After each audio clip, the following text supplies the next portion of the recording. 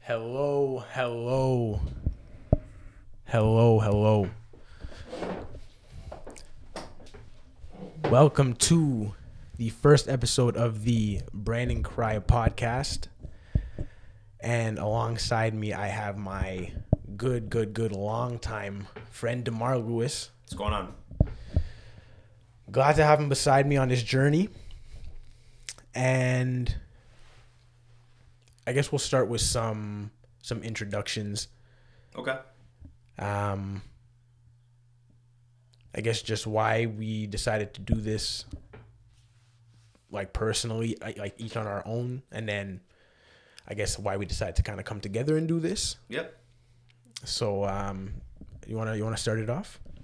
Uh, sure. Yeah, I, uh, I, I pretty much wanted to start this off um, because I just finished my uh, program in school for broadcasting, and uh, I thought this was a good start to really try and you know get my voice and uh, my face out there and discuss stuff that I like talking about. All right, and for me, um, obviously I didn't have a lot of subscribers. You know that I had my previous YouTube channel, The Correia Chronicles. Yep. So I've been kind of interested in dabbling in this area for like a long time, and I've obviously wanted to kind of progress in this area for a long time. Obviously, stuff came up in my life. I obviously you me record us recording this now. I haven't even dropped the video on my YouTube channel yet, but it was basically just the intro video of or just a video me kind of explaining why I kind of stopped uploading as much and doing as much content Yep. and basically just life updates. Obviously, you know I started acting, Yep. so like I'm doing I'm doing that and I'm trying to work on that. And that was like a big a big gap that I or a big thing that kind of I started focusing a lot of my attention to. And then on top of that, you also know that I've had two kids ever since like I really started posting a lot. So obviously I'm a father of two now and that has taken a lot of time. So now that I'm finally in my own space, right? We got the you know I mean studio set up. We don't have to move everything. We could just come in, hop in, click, and we go. Um, I, I, I feel like I'm finally ready to get back at, into that part and that passion part that I was really excited about back then. And yeah, I think that's that's probably it. That's probably the biggest reasons why I I wanted to. I, I'm I'm obviously starting this. This is obviously like a new form from just making YouTube videos, uh, an audio form. But yeah, it's it's still just the same same thing. Just being in front of a camera, obviously nicer mic, and just discussing things that we're passionate about and that we really enjoy talking about. So yeah, that's those are some introductions. Again, Brandon Correia. We're we're co-hosts Brandon Correia, Demar Lewis, and I guess should we just should we just get into it? Absolutely. Should we just get into it? yeah. That's how you started. Um. So big first topic, obviously. Obviously, I, I, want to mention also some topics that we're obviously going to discuss just For sure. generally on the pod. So hip hop, just music stuff that like music subjects that like we're really knowledgeable about or we're into movies, TV shows, um, culture news, uh, ball talks. We're big both uh, ball enthusiast. You know what I mean? Basketball enthusiasts. We we love the game. Yeah. We're pa- really passionate about the game. I think I think I think the best word for that would probably be like fanatics. Fanatics. Yeah, in a way. Like we're yeah, like we're like diehard too in Yeah. a way. Like we we you know I mean like we live and breathe NBA basketball. We love that. Um, but ju- that would I, I would honestly say I feel the same about all those other topics too. That we probably live and die a lot of those all those other topics. So like exactly. I'm excited to get into to these topics with you. Obviously, the topics that we have today are good ones, and just obviously the topics involving this stuff going forward. So, without further ado, now that that's out the way, just a little, little house cleaning. Yep. We got um the first first up. We got the Kendrick album. So we're gonna start in in, in hip hop, and this would have by the time we're recording this, it'd probably be Just going over two weeks actually. So this since is it came out. yeah. So it came out last Friday. So this would be the week after. This would be the Sunday after it came out. So we've had. Oh, so it's like a week and like two Two days, days. Yeah. right? Okay, so a little over a week. Have you listened to it a lot?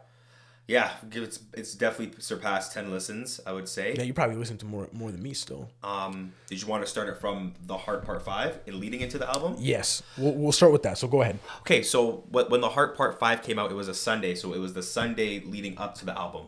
So that would have that would have been just the beginning of May, and um, it happened on a Sunday. So that's about th- so that's probably three Sundays three Sundays ago or two. Okay. Yeah. So when I first got that, I was at work, and uh, as soon as I saw the notification, I knew it was coming because that's what Kendrick does every before every album he releases a heart a heart song from the series.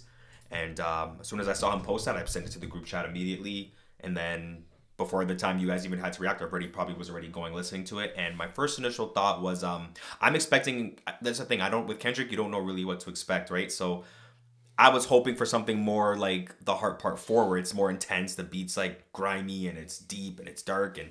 But no, this one was a little bit more um, uplifting. He sampled uh, Marvin Gaye's uh, "I Want You" from uh, I believe it's 1972 from when that album came out, and um, I like that. I like that's music department. right? That's, I that's- think that's so. I could be wrong. I could be wrong.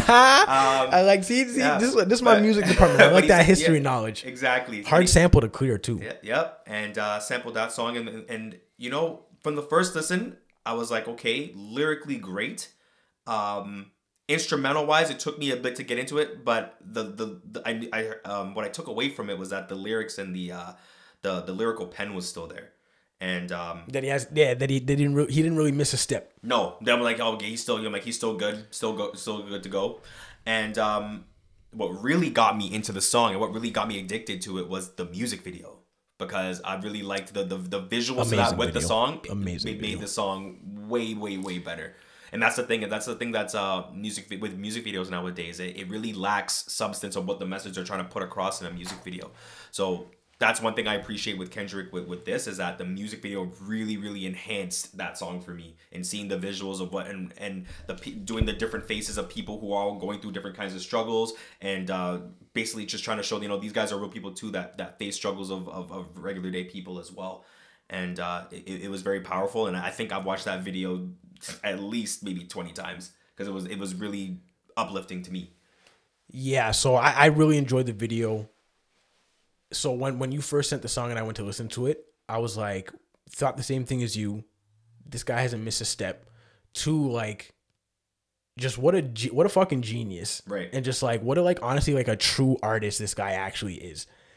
And then even like, I know you were saying that when you first heard it, you were having a hard time, kind of like, I guess like just like rocking with the song as a whole. Not you know what I mean? Just not like like, rocking with the song like as a whole just you know just uh trying to really it's hard like i think just fully dissect what it everything you know what i mean and that's the thing with kendrick it's like i feel like with every something when kendrick drops something you just you always have to feel like you have to dissect into something and i think that's just me overthinking or me just being overexcited because i haven't got anything from him this guy in over five years right so Yeah, so I, I when you when you first sent it, I murdered that song. Like, when I say like thirty, but like like but like a lot of times, like that song, like not only the met, like you said, the message hit me, but even just him musically, like I liked the Marvin Gaye sample. I liked just even the pockets that he found because again, I know like d- did you did you watch the the, the Joe Budden like Um, kind of review of that? it? Yeah, yeah, like, yeah. So like. Ish wasn't like you know Ish wasn't feeling it too much. yeah yeah And he would like he wasn't saying how like his lyrics he was saying that his lyrics and like the beat didn't really kind of pair. And that's how he was having like when I was just like nah I'm like rappers just like good rappers find like different pockets. Even like your your boy oh drake oh he finds different pockets like Yeah, all sure, the time. sure. You know what I mean? So it's like he found a pocket in that, which I was I found was a beautiful Marvin Gaye Yeah, sample yeah. that they made into a beat. Like I really really love that beat. Mm-hmm. I thought the message was good. The ver obviously his, his verses were good. One, two. I feel like two might have been my favorite verse. Mm-hmm. Even the, but even obviously the Nipsey verse at the end too was really really good.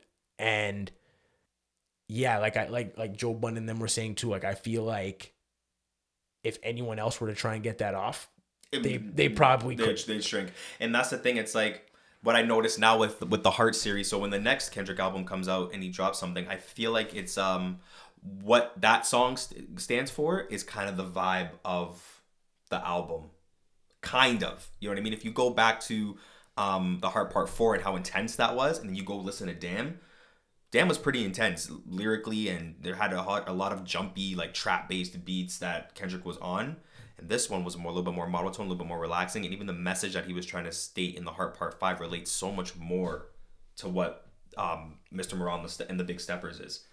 You see where I'm kind of going? Yeah, I So you. I think that's kind of like a little trend, maybe. But um, anything else you wanted to add on that? No, like I think I think that's it. I last thing I just want to say I, I really enjoyed the song and Same. really enjoyed the video also. Like it, it- Yeah. it was a good lead up to Mr. Morale and the Big Steppers. For sure. Um, final um thing I wanted to say about it also, just a little fun fact. So the um, the music video with him doing all the faces and stuff, um, South Park creators Trey Parker, Matt Stone, um, were, were a big part in doing that. I think he has some movie with them coming up, and I think that was like their first project together, even to see if something was working out. So when they get into that movie, I haven't looked too deep into it, but I just know Paramount and uh, uh, Trey Parker and Matt Stone are behind that as well. So Okay. very interesting. It's cool. Yeah. All right, so next up we got the we're gonna dive into the to the big kahuna. The thing that everybody's been waiting for around the world. The thing that the entire hip hop culture stopped and paused for. Five long years. Five. After hearing this and here's the message, how long do you think we'll? it's gonna be until we get another project? I don't think another five. Um, I would probably say two, two and a half max. I turned thirty this year. You are two years younger than me. Yeah, twenty eight in August. I won't even be surprised if I'm like approaching 40.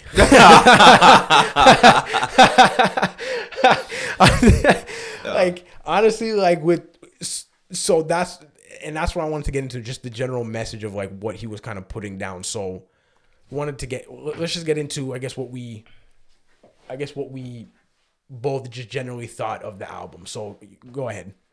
Overall, um, can I go based off first listen? Should I? Can I start with that? So you can start with that. Okay, so when I when I got the album, obviously, um, I was on my way back from downtown, and uh, I was waiting, and um, I got it. Finally, it was there. I, had to, I it wasn't on actual Kendrick's mu- Apple Music page. I had to like type in the album name and go look for it, all that stuff because it was just Dig up, dropping. dig up. do all that kind of stuff. But I found it. Asked you guys if you did, and uh, you didn't have it until a little bit later. And um, my first set, my first um, thoughts going into it was like, okay, just listen and get through it, and then find your find yourself after and find out what you feel after. And um, I must say, after the first listen, I was like, I messaged you even the next day, and I was like, listen, I don't even know how I feel about this album, but at that moment, we knew we were going to be recording this, so I didn't want to give you my full opinion. But when I did first listen to it, and when it was done, I was like, I know this is a good album. I was like, I, after my first listen, I was like, I know this is good. But I think for me, it's like, how good is it really? And um, after I, I have to say, after two weeks, I, I, must say it, it, it's a it's a really really really solid album. Um, it's, it's a lot. It, I think this is Kendrick's most op- like this is the most open Kendrick has been with his life. Um, lyrically, he's still there. I wouldn't say it's his best lyrical album. The lyrics are there though, hundred percent. Yeah, for But sure. um, I wouldn't say it's as, it's it's as lyrically stellar as his previous work, but it's still very very good from front to back.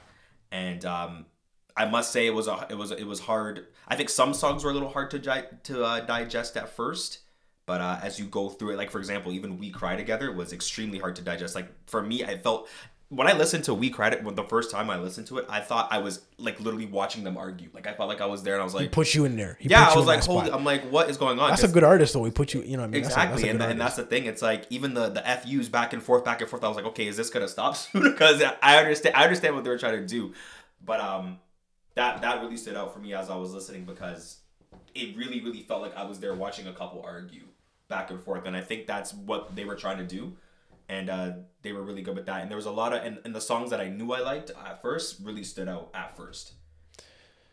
Yeah, so I share similar sentiments with the with you on my first listen.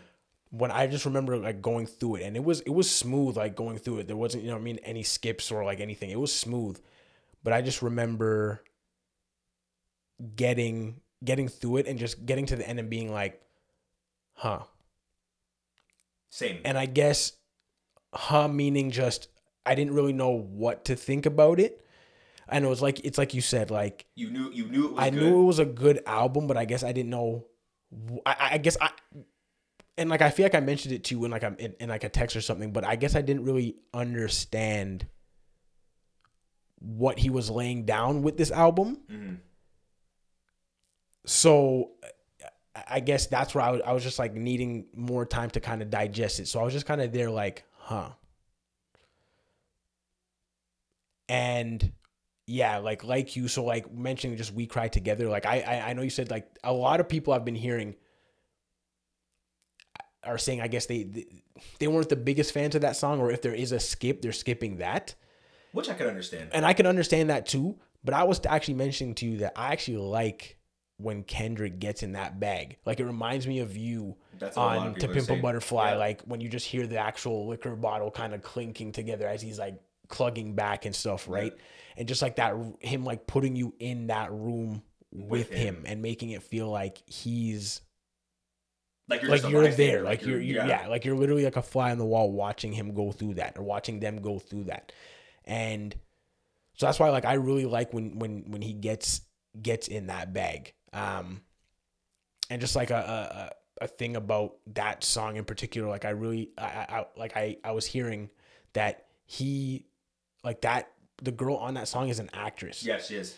So like that's really interesting because like honestly to tell you the truth like I don't know if a rapper like a like a female rapper or a female female artist could have actually emoted the emotion that she was actually portraying on that song cuz she actually went off like she Mm-hmm. I probably like thought she did a better job than Kendrick just like remember that you know that part kind of closer to the end where she's like Where she's really talking about- crackling and it's really her voice is like really kind of dragging yeah. I was like nah like that's that's like And you know what's even crazy, more crazy about that song is that the first, the, the second time through, I'm like, whoa, these guys are actually rhyming the arguments. Like, you know what I mean? The fact where the first time I didn't even sound like they were rhyming, but when you actually Yeah, take in yeah. what they're saying word for word, and like they're still rhyming at the same time, which is which is definitely um something new and definitely something unique.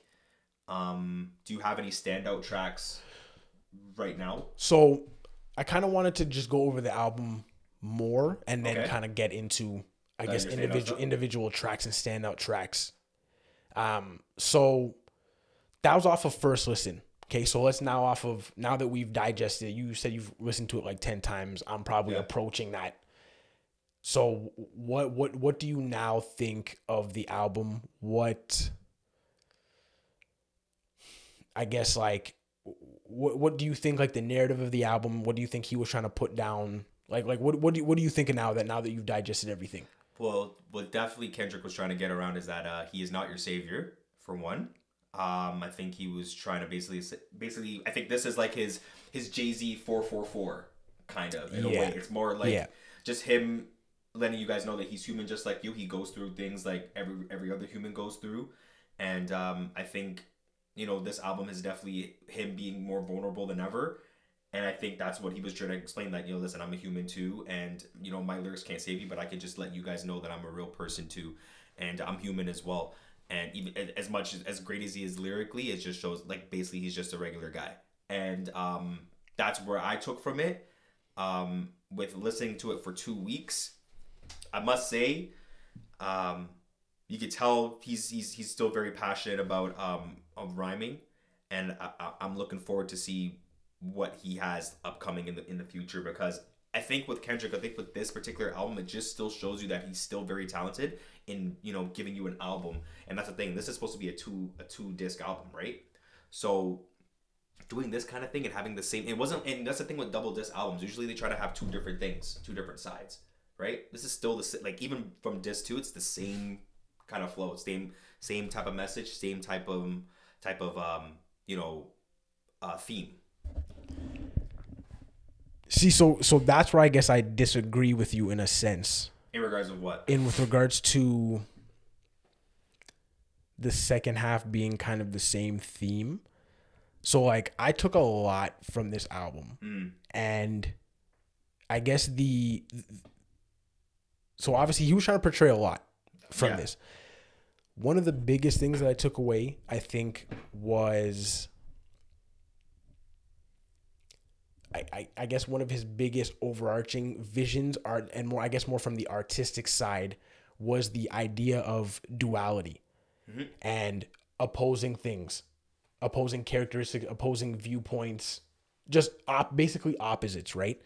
And you could see it in and like you know, you know obviously we're Kendrick fans. You know that he does everything intentionally Right. right? So when I look at the layout of the album and I see the nine songs, nine songs, reflections, they're both like almost like about 38 minutes or something like that. Like they're they're like honestly really close in time, Okay. right? The last song literally is called Mirror. Right? Yeah. Reflection. But when I say duality and I say opposites, if you notice, right, it's called Mr. Morale and the Big Steppers. Worldwide Steppers is on the first half, which is Mr. Morale, mm-hmm. and the song Mr. Morale is on the Big Steppers side Okay. on yeah. the track list, which I think he did intentionally. You know what I mean? Just all these Yeah. little things to just show dualities and, and, and reflections. You know what I mean? And so I feel like that was like his big kind of just like artistic kind of theme for the album. And again, the reason why I say I disagree with you is because in in Father Time, which is a standout track, I'll go more deep into that when we get into the track when we break down the tracks.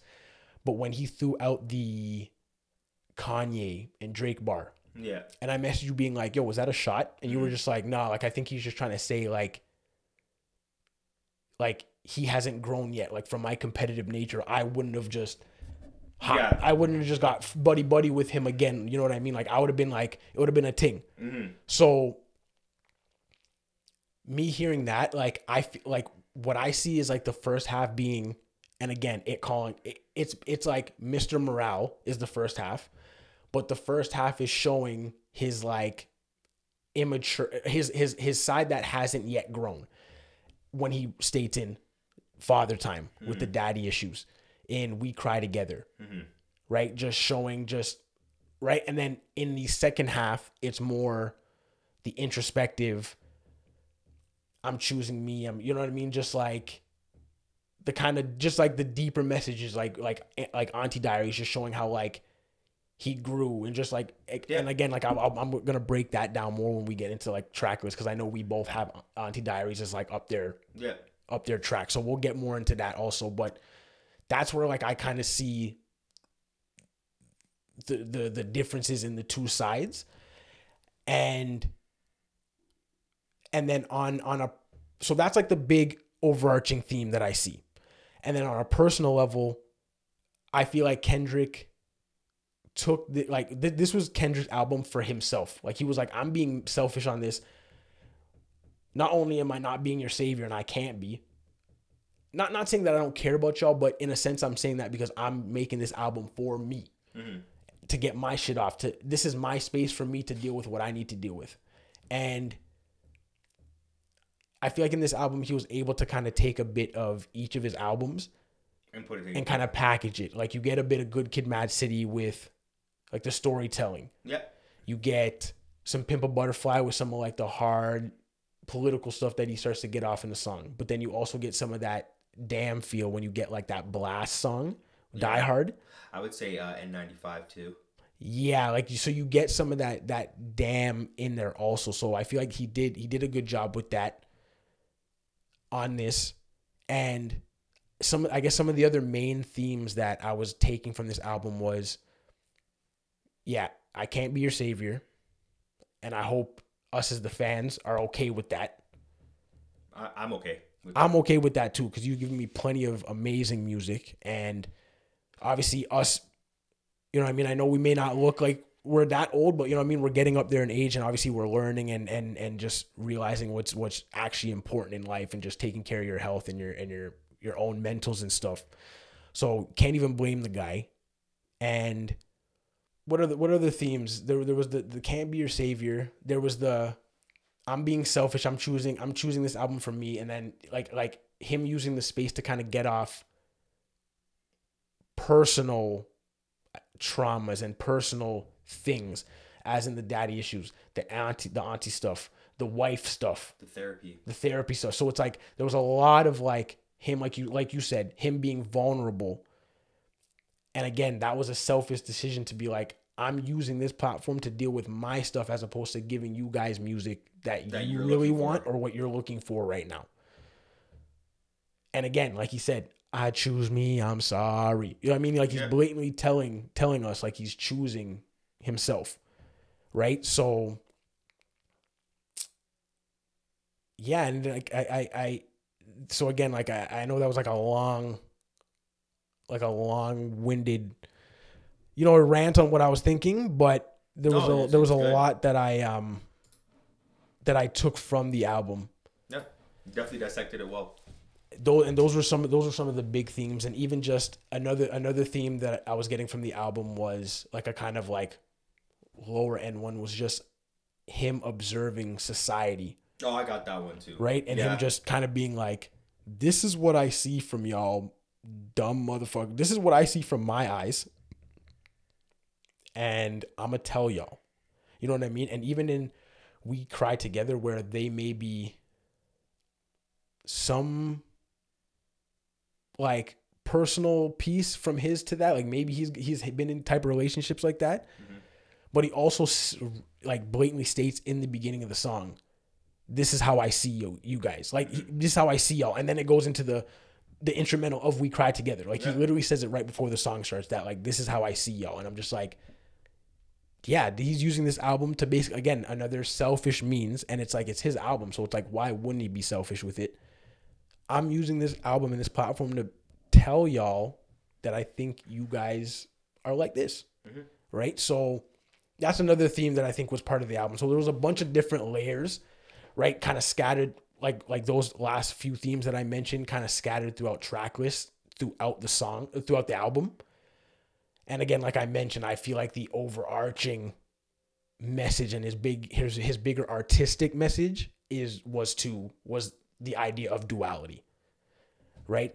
And like he even mentions it. Well, what's that what's that song? Duality spirituality good and bad health i know hancha i know you know this and to pimp a butterfly you know what Yeah, i mean like oh, um, that's um, that's mama. the verse you know you know That's verse Mama- the, you know what i mean Mama, yeah, yeah. I that- thought you were, I was thinking of a song from this album. I was like, no hold no i'm talking about to pimp That's, a that's, butterfly that's mama. That's mama. right? So like he's been thinking about that idea of duality and op, you know what I mean? And obviously Kendrick is just always on that deeper level of kind of thinking. So Yep. those are my uh th- those are like my my big big big thoughts on the album and again Like your takeaway. Yeah my big takeaways and again like i, I uh, me having all this time to dissect it and really being able to get out my thoughts especially us discussing it now yeah this album is really good and especially maybe where i am in my life and things that i've experienced like it, it really has sat sat with me Yeah. um if i were to rank it Oh man, that's tough. if you want to you want to do a ranking quick Yeah, let's do it because Um, I don't what do you got? What do you got? Well, you want me to do album from or do you want me to have where I place it? Like you want me to do like rank them from where I what I have them? yeah yeah I um if you can if you can't i, I don't I think I, i, can, might have honestly my right order now. I don't think I can. But what I will say is that I don't think I have it over Good Kid, Mad City. I don't. I don't think I have it over to Pimp Up. I don't think. No, sorry. I might have it to over to Pimp Up. I might, and I might not have it over Damn. So, like I was telling you, to pimp a butterfly to me, like I was for some reason, like it, it, when I re-listened to it leading up into this album, it was amazing. It's amazing, but it, I guess I didn't love it personally as much, As a good kid. and I guess even like Joe Budden was saying that like he People- didn't really yeah. pe- and people didn't really love that album and like I guess I like I guess I get it now that I'm a little older and I'm a little further removed from that album. I guess I I do get that. But I also get what he was trying to do with that album. Like he literally had a bunch of black people on the president of United States lawn. Mm-hmm. You know what I mean? And he says it in Blacker the Berry. Yeah. Literally. So it's like I I get what he was trying to do with that album. And it's me and me being older now, having two kids, obviously me being hopefully wiser than I was when To Pimp a Butterfly came out. Like I I get it. But for some reason the album musically and just as a whole didn't hit as as well as I thought it did, or it didn't hold up as much. It, it holds up, but not as like high in the books as I had it. Mm-hmm. Right. So to me, Good Kid, Mad City is still my number one. I think like that album is so good. It is. It's honestly like it's such a good album. Like he he he honestly murdered that. I honestly think I might have this number two. really To tell you the truth, I honestly Damn? Over Damn because listening to Damn again, but I think it goes Damn and then to Pimp a Butterfly. okay. Yeah, Damn to me. Again, like we were discussing, is was like his commercial album. That's the one that has his, his, his, his biggest hits on You there. could tell just like sonically, it was more commercially oriented. Yep. and the few tracks that stick out on that album to me like fear feel duckworth like those tracks are like like fear is to me is one of kendrick's best songs and even feel too fear and feel are to me are one of kendrick's best songs but the out like the rest of the album to me doesn't hold up as much as the other albums Okay, I can give you that. I and I think um, with this album, especially after we just got Damn in 2017, right? Five years, I think it's hard because when I got Damn, I was like, okay, is this Kendrick taking the next step to being a little bit more commercial and being more trying to get those hits and but also giving his message at the same time? And with this album, you obviously see that no, this is not the case. I'm still gonna give you what I want to give you at the end of the day, and um, you could tell with Damn like. I didn't expect it when I first heard "Damn." I didn't expect the the amount of hits that it had. I did not. I didn't expect it to fly like that because that has at least five or six, five or six um hits off there alone.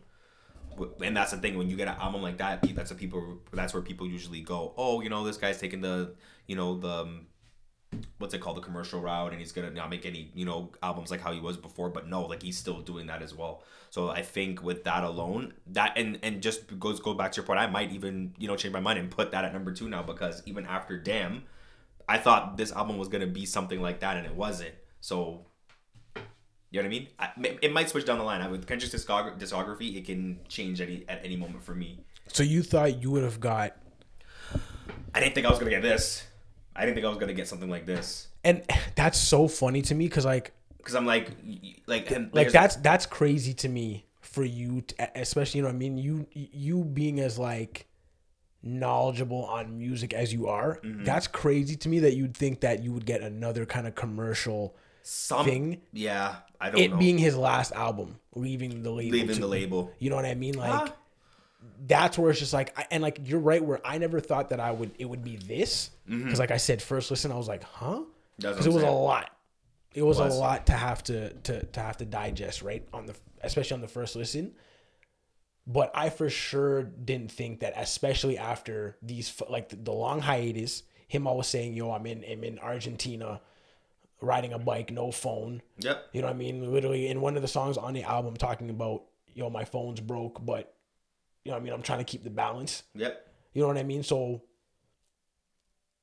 him watching the world, COVID popping off, like I for sure thought it would have been deeper than damn. But obviously nowhere near this. So, uh, fun fact here, um, the first week numbers came out for for um, Mr. Morale and the Big Steppers, obviously.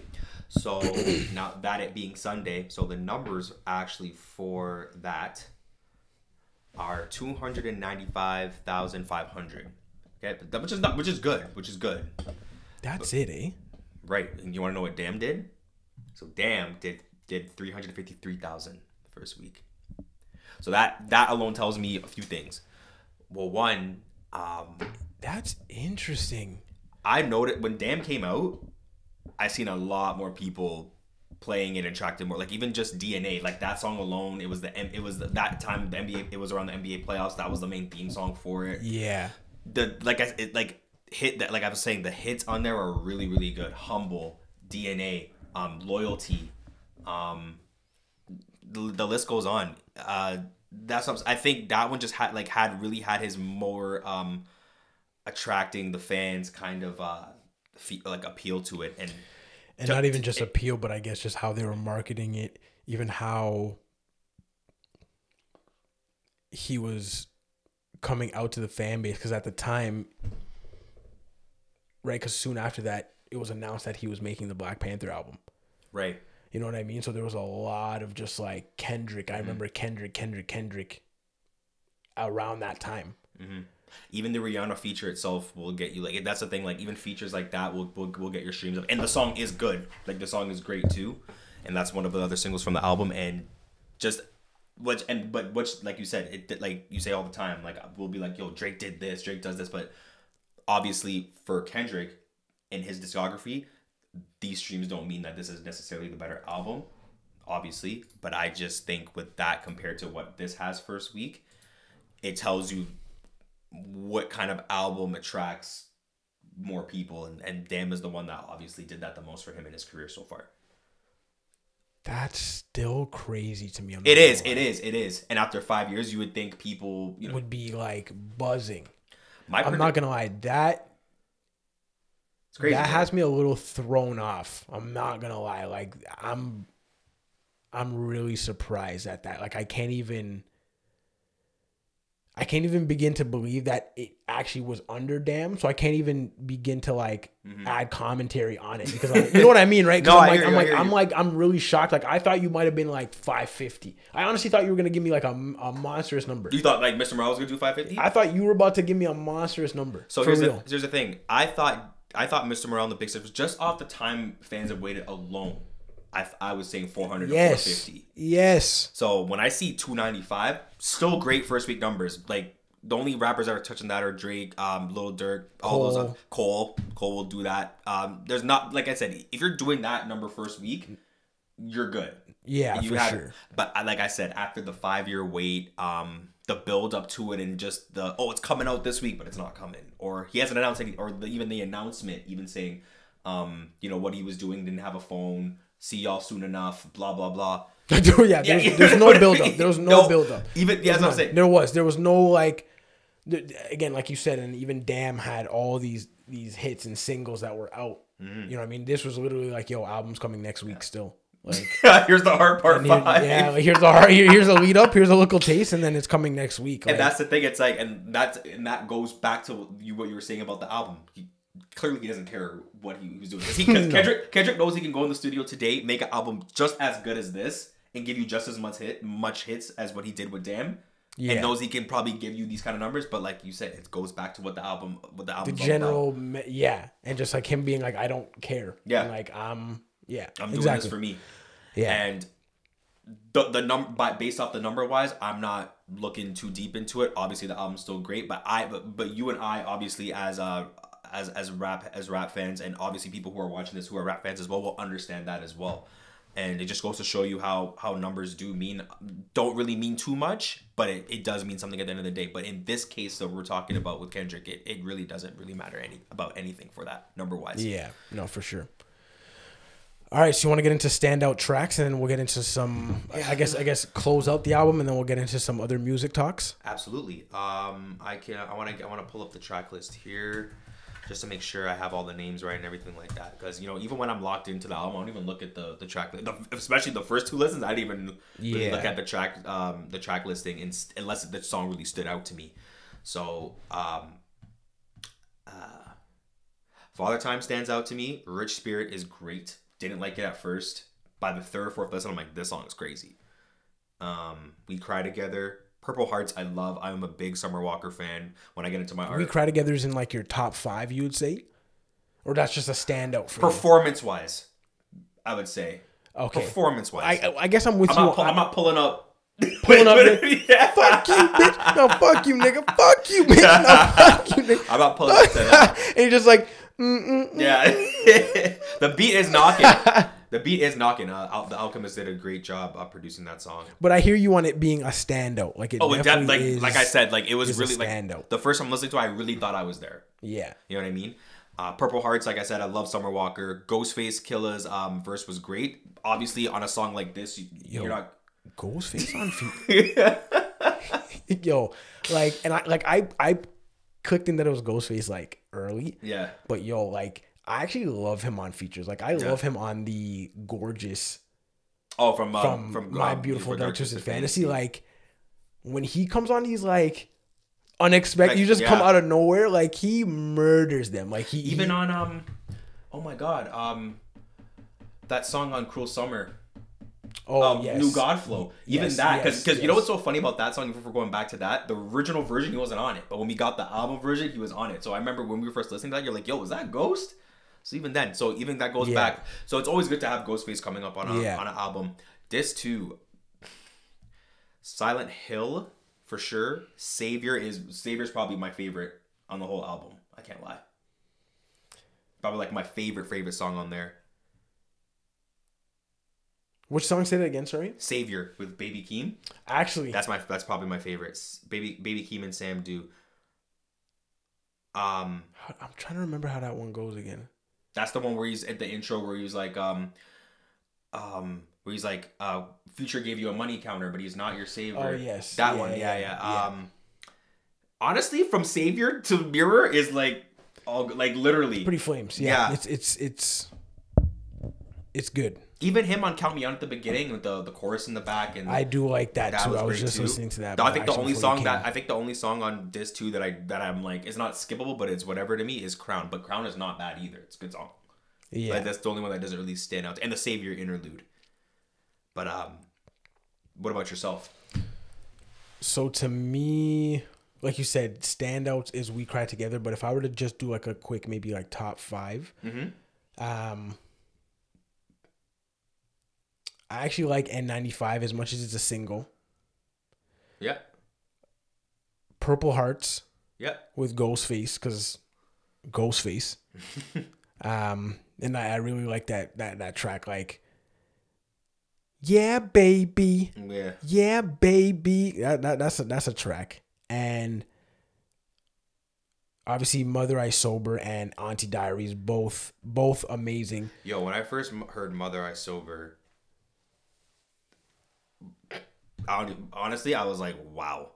Yeah, mean? and it, like it's funny. So uh, so okay, so let's talk about let's talk about so we both obviously we both have Father Time, Auntie Diaries, Yeah. Mother I Sober Yeah. in our tops. Yep. right? So let's just let's I guess let's talk about those briefly. So So you you were just talking about Mother I Sober, so I'll kind of piggyback off you when yeah, like when I listened to that to that song, on the first listen, it was weird because I don't know if it was maybe coming to the end of the album. And I was maybe kind of not, not tuned out a bit because I just heard Auntie Diaries. It's right before, and I and I that song like really kicks you. It, it, like, it, how can it not kind of mm-hmm. kick your brain into jumpstart? But I guess because like the the instrumental in Mother I Sober is really kind of low and slow and kind of you know what I mean, right? Kind of dull a little bit. I guess it was kind of just really calming my mind. So I guess I really wasn't taking in what he was putting down. So especially like that third verse, like Joe Yeah. Budden was saying, like that third verse was like probably one of the best verses that he's that he's heard in like a decade. Yeah. And like it's funny that he said that because it wasn't until like halfway through the third verse that something in my brain like clicked in and I was like aware of it and I was like, yo, this guy's talking right now. Like he's talking, talking right now. Like so that that that's a really standout track because again, that verse like alone is just like amazing. Auntie Diaries. What what did you think of Auntie Diaries? love the um, the uplifting beat. Like, here's the thing: what caught me off guard before I really understood what he was really talking. Well, obviously, you know what he's talking about as soon as he gets right into it. But the uplifting beat, the the bass in it was great.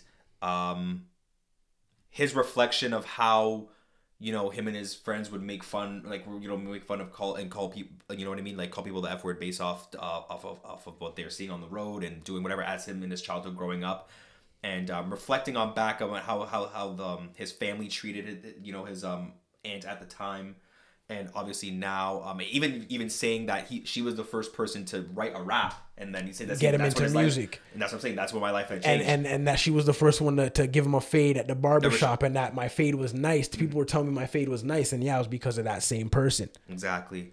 And even um there's a part even where I can't remember I can't exactly pinpoint the lyrics exactly, but he was basically explaining there was like a little fallout when he was um not a fallout, but there was just like a time period where he was in his career and he they didn't speak as much.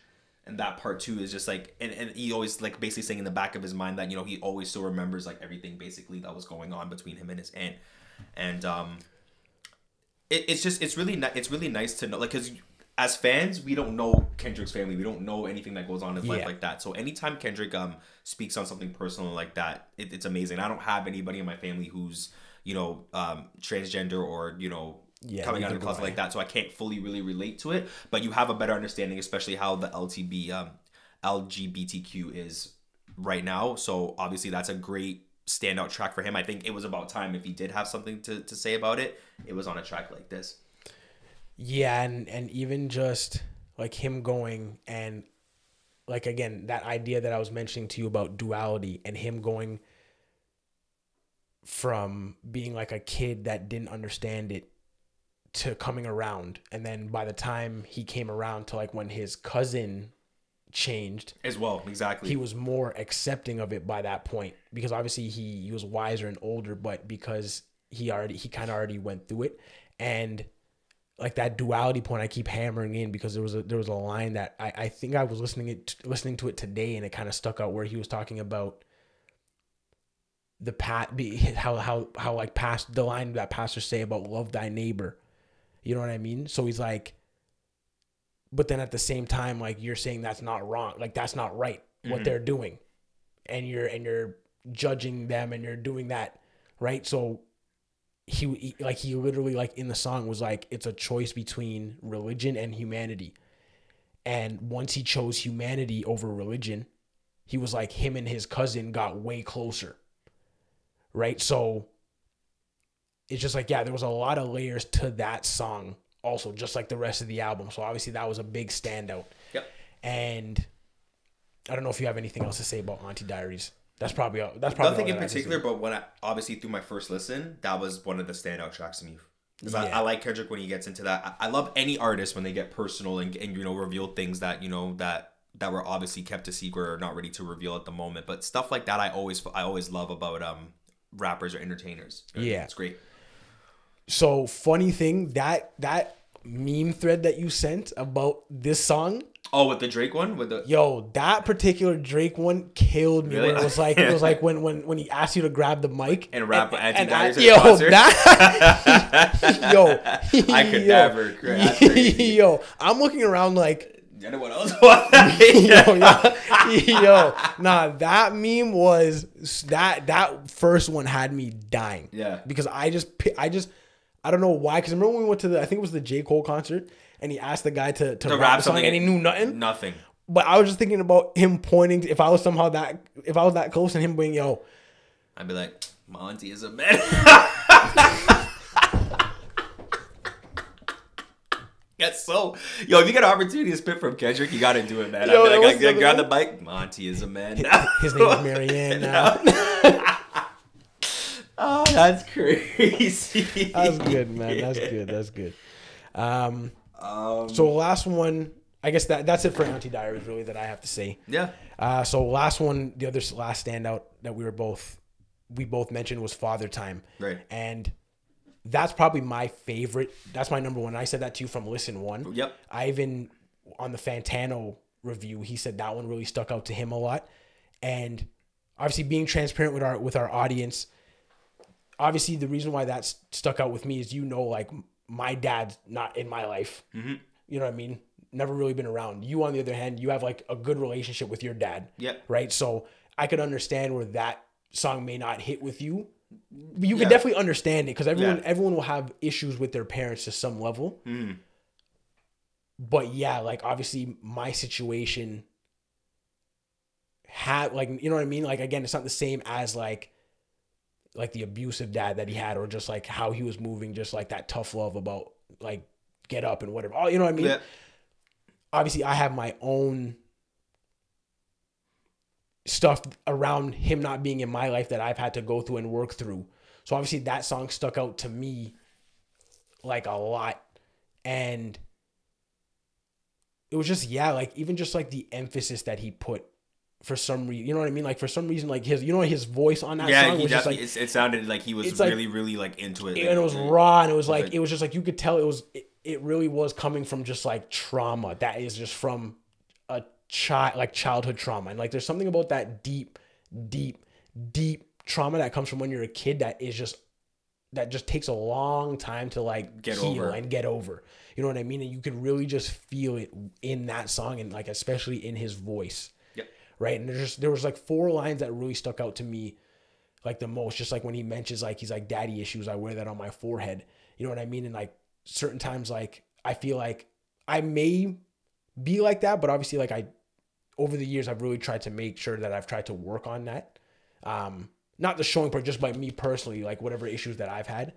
Um and even but even just like the him using it, him using it in a positive way, which I think I've also done myself, which is when him him mentioning that again, he's like daddy issues. That that shit's kept kept me competitive. That's a mm. fact, nigga. Mm-hmm. You know what I mean? Like I definitely feel like I relate to that. And then even just like when he gets closer to the end of the song and him mentioning just like, you know what I mean, when when when your what does he say? When when your heart's made of stone and your mind's made of gold and your tongue's made of sword, Yep. A little bit of like you, you lose a little bit of your soul.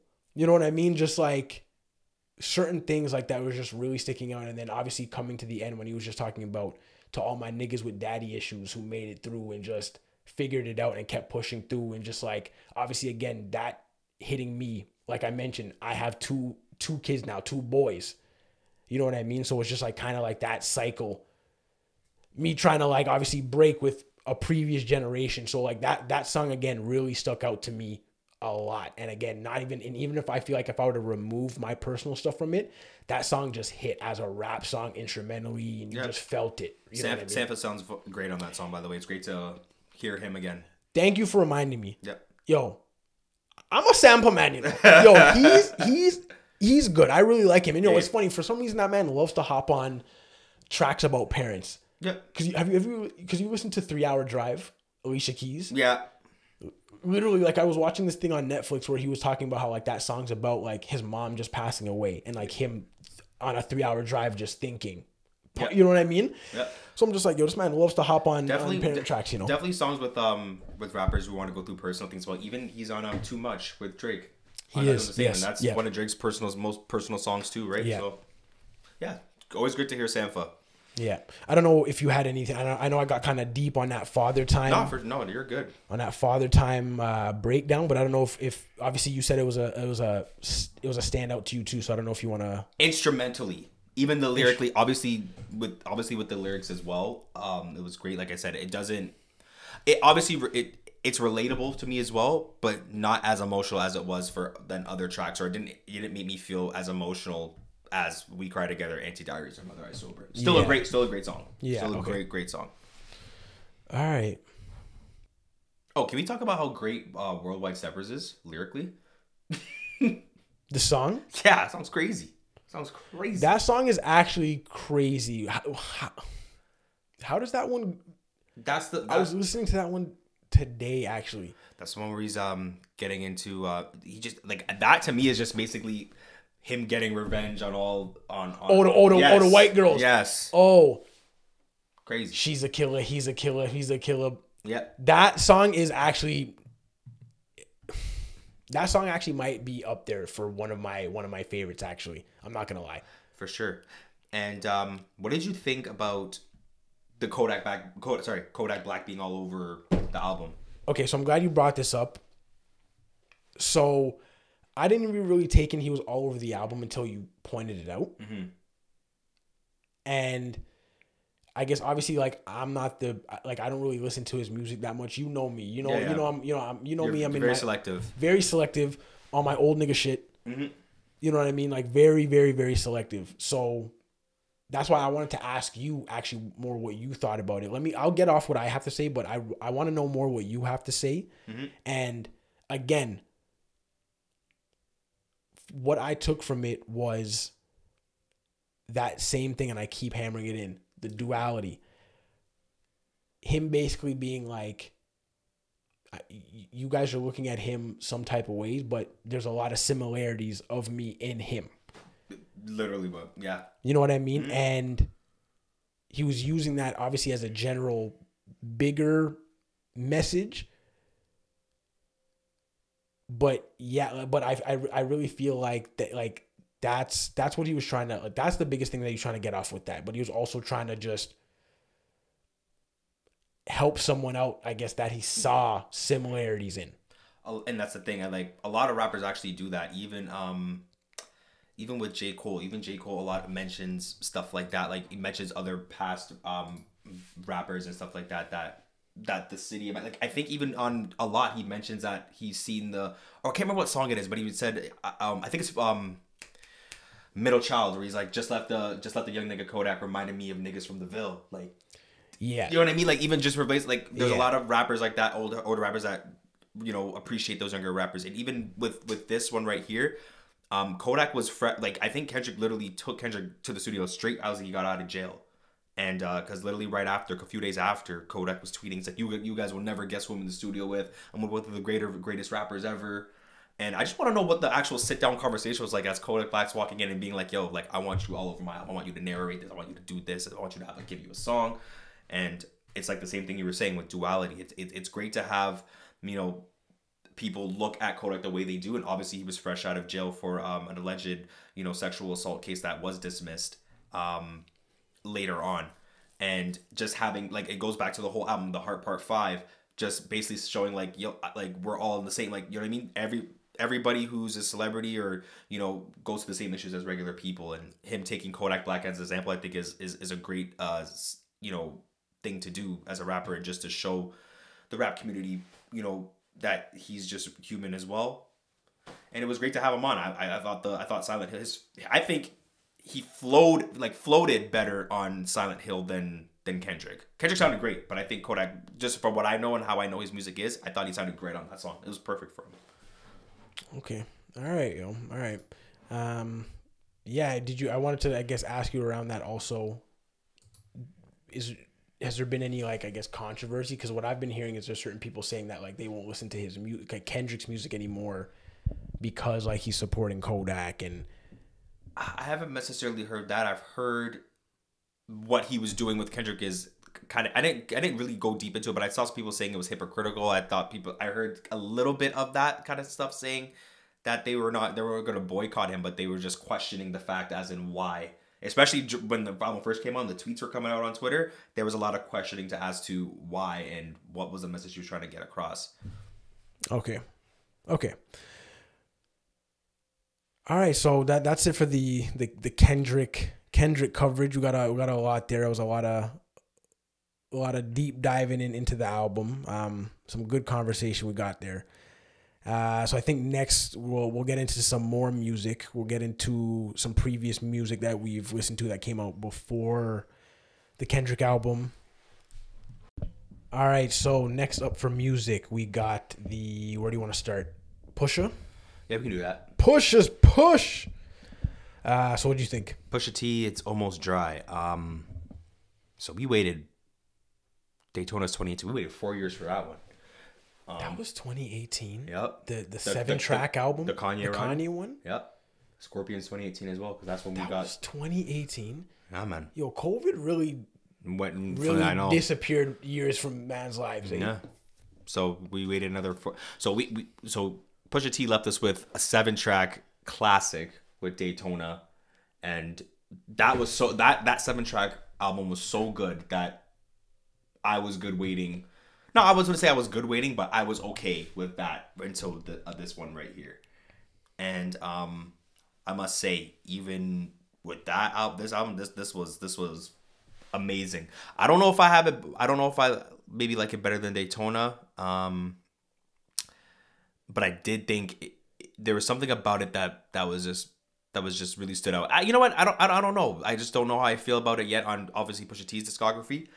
But what I will like is that it definitely had more of um, you know, a pl- like a a theme. You know, the Joker laughing. You know, every time, and it's so funny because even with him in the interview, I can't remember which interview it was. I think it was the Breakfast Club, and they were like, "Yo, um, he was in the studio with Pharrell, and Pharrell was like, "Yo, you need to have a thing for this," because I guess he was giving him a whole bunch of tracks and whatever, and Pharrell was like, "Listen, bro," he's like, "These are great, but these are not. I don't want this on the album. You need to come with a theme." And uh, I guess they had the movie The Joker in the background while they were in the studio, and they was like, "I want to do that." And having the Joker laugh and uh, all that throughout the album, and it being lyrically great. The features were were were phenomenal as well, and I thought that just having him in the studio with with with um Pharrell and Kanye in different sessions was great because I think when you go into a studio, go into an album and just have your two guy, your two main guys, it, it has you more focused. And um, I like when listening to this, you can tell what productions from which more more times. You know what I mean? There's a lot of Yeah, for that- the majority, you're able to tell kind of who produced what. Exactly. Like you could tell in the past, like that's easily Kanye. You know Yeah. I mean? And um, for, for that, I thought that was really good, and I, I'm I'm okay with this for another four years. I, I'm good with it's almost dry for four years. If I had to wait another four, Yeah, so I really enjoyed Daytona also. Like the seven tracks was nice to me. You know I don't like long albums Yep. at all. So the seven tracks is, was was great. It honestly it might be a little short. Like nine to ten is probably like even twelve. Like you could get like a like well, this one was twelve, was it not? yeah. So that was like the probably like I and I feel like maybe that's why I liked it a little bit more. Maybe because there was a little bit more for me to kind of grab onto. Mm-hmm. Because seven is is quick, like it's quick and concise, and it's like it's done. But Daytona was really good. I don't. I found myself killing this album, mm-hmm. like on repeat, repeat, repeat, like more than Daytona. I think. Like I really enjoyed this album. Like Yeah. the production on this album was nuts to me. You could you could just hear the money in it. Yeah. You know what I mean? Like you could hear that there was money in that album. Obviously with Kanye and Pharrell both producing the majority of it. But everything like obviously with Pusha, you know what I mean, talking that cope talk, talking that boss talk, that rich money talk, like it's like you could it's like that was like reflected in the productions. Like it's like you could hear the richness mm-hmm. in the beats. You know what I mean? So like I don't know, I really enjoyed Almost Dry and like I found myself going back to that album like a lot. Um, you can you. I, I would probably say you probably. I, I don't know where you're at listening to music all the time, but I'm sure you probably did listen to this one probably more at first than Daytona because with Daytona, that was the first album of the the Kanye run where he was dropping an album every week. So like something else came out and the Nas one came out and then, then his came out. with Kid, and then the one with him and Kid Cudi, Cudi Teyana Taylor. So even just that, I could probably see you killing this one more. Yeah, because like, especially because there was nothing else around it, kind of taking my attention away from it. Mm-hmm. You're right. You're right. But even like taking that out, like it was just like there was something that like I really gravitated to. Like there was just like the certain songs that like stuck out to me on that album, like really stuck out to me. Like I could go back to those and bump those like anytime. Like Yeah. just so you remember. Like if so, if you want to go over just standout tracks, like just so you remember was one that really stood out to me. Open Um, Air was Open Air was was crazy. That was really good. Brambleton is nuts. The production, Let the Smoker Shine, the Coupes. Let the Smoker Shine the Coupes instrumental to me is Crazy. craziness. Yeah. Craziness. Yeah, it's just I don't know. I really enjoyed that album. I really enjoyed that album. Pusha Up T, there, Pusha T, keep doing what you're doing, man. If I have to hear you rap coke for another 20 years, I'm good. That's what I'm saying. Like, Like, like even the, you know what I mean? I'll, The, the, I'll take that coke talk all day. All day. Honestly, he, you're, you're cold. Because he because he, d- he does it with such like profession like you know what i mean like he does it so well Yeah, like so well to the point that you don't care that you're getting that same talk on every album. exactly You know what I mean? yep and that's something you just get, get tired of um call my bluff was great even um hear me clearly that was on the i know nigo album before so that was released but i didn't know he was actually gonna put it on this album as well that song sounds way better on It this sounds nice in the flow of the album. I agree with you because i remember you even- messaging you that You did message me that, and even what's the other single? Neck and wrist, and what was the other one? Diet Um, Coke. Diet Coke. So Diet Coke, like I really liked as a single. In the context of the album, it it it, it, doesn't really it doesn't really flow it doesn't well really stick out and not really flow but yeah and i guess in a sense it doesn't really flow as well but it also gets kind of overshadowed by the other amazing songs on it whereas you're right. Like something about "Hear Me Clearly" of those three songs that he released, "Neck and Wrist," "Diet Coke," "Hear Me Clearly." Sounds that, that one sounds like For some reason, that one really does sound like it belongs in, In. the album. Hundred percent. I, I agree with you. Cause, cause what songs before that one? Uh, scrape it off with uh, Lil Uzi Vert and Don Toliver, which is a great song. Yeah, it is, and for some, it flows really nice into "Hear Me Clearly." Yeah, it does.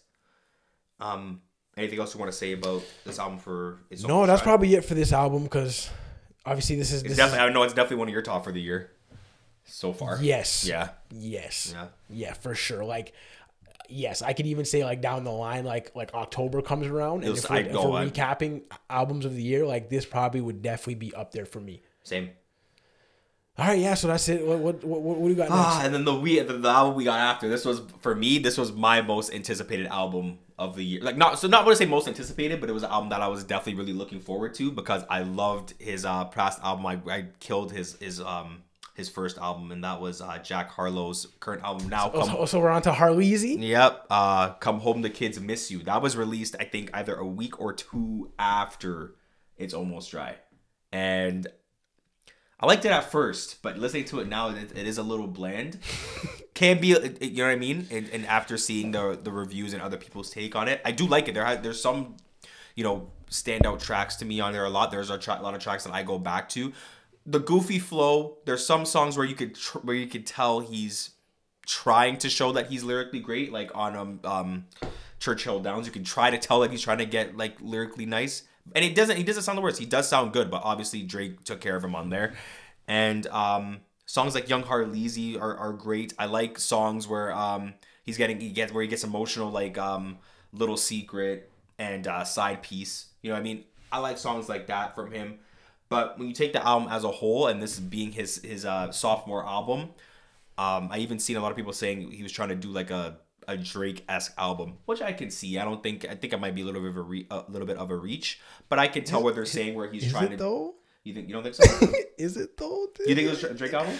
I'm gonna finish. I, I, I'm gonna Yeah, try I to know. I, know, I heard you. I heard you. saying, I I, heard you. like, saying. and I like, I didn't even think about that point. I've just been hearing people say that, and I was kind of like, honestly, Say I, I see it, but I'm just like definitely see it. Like I see it.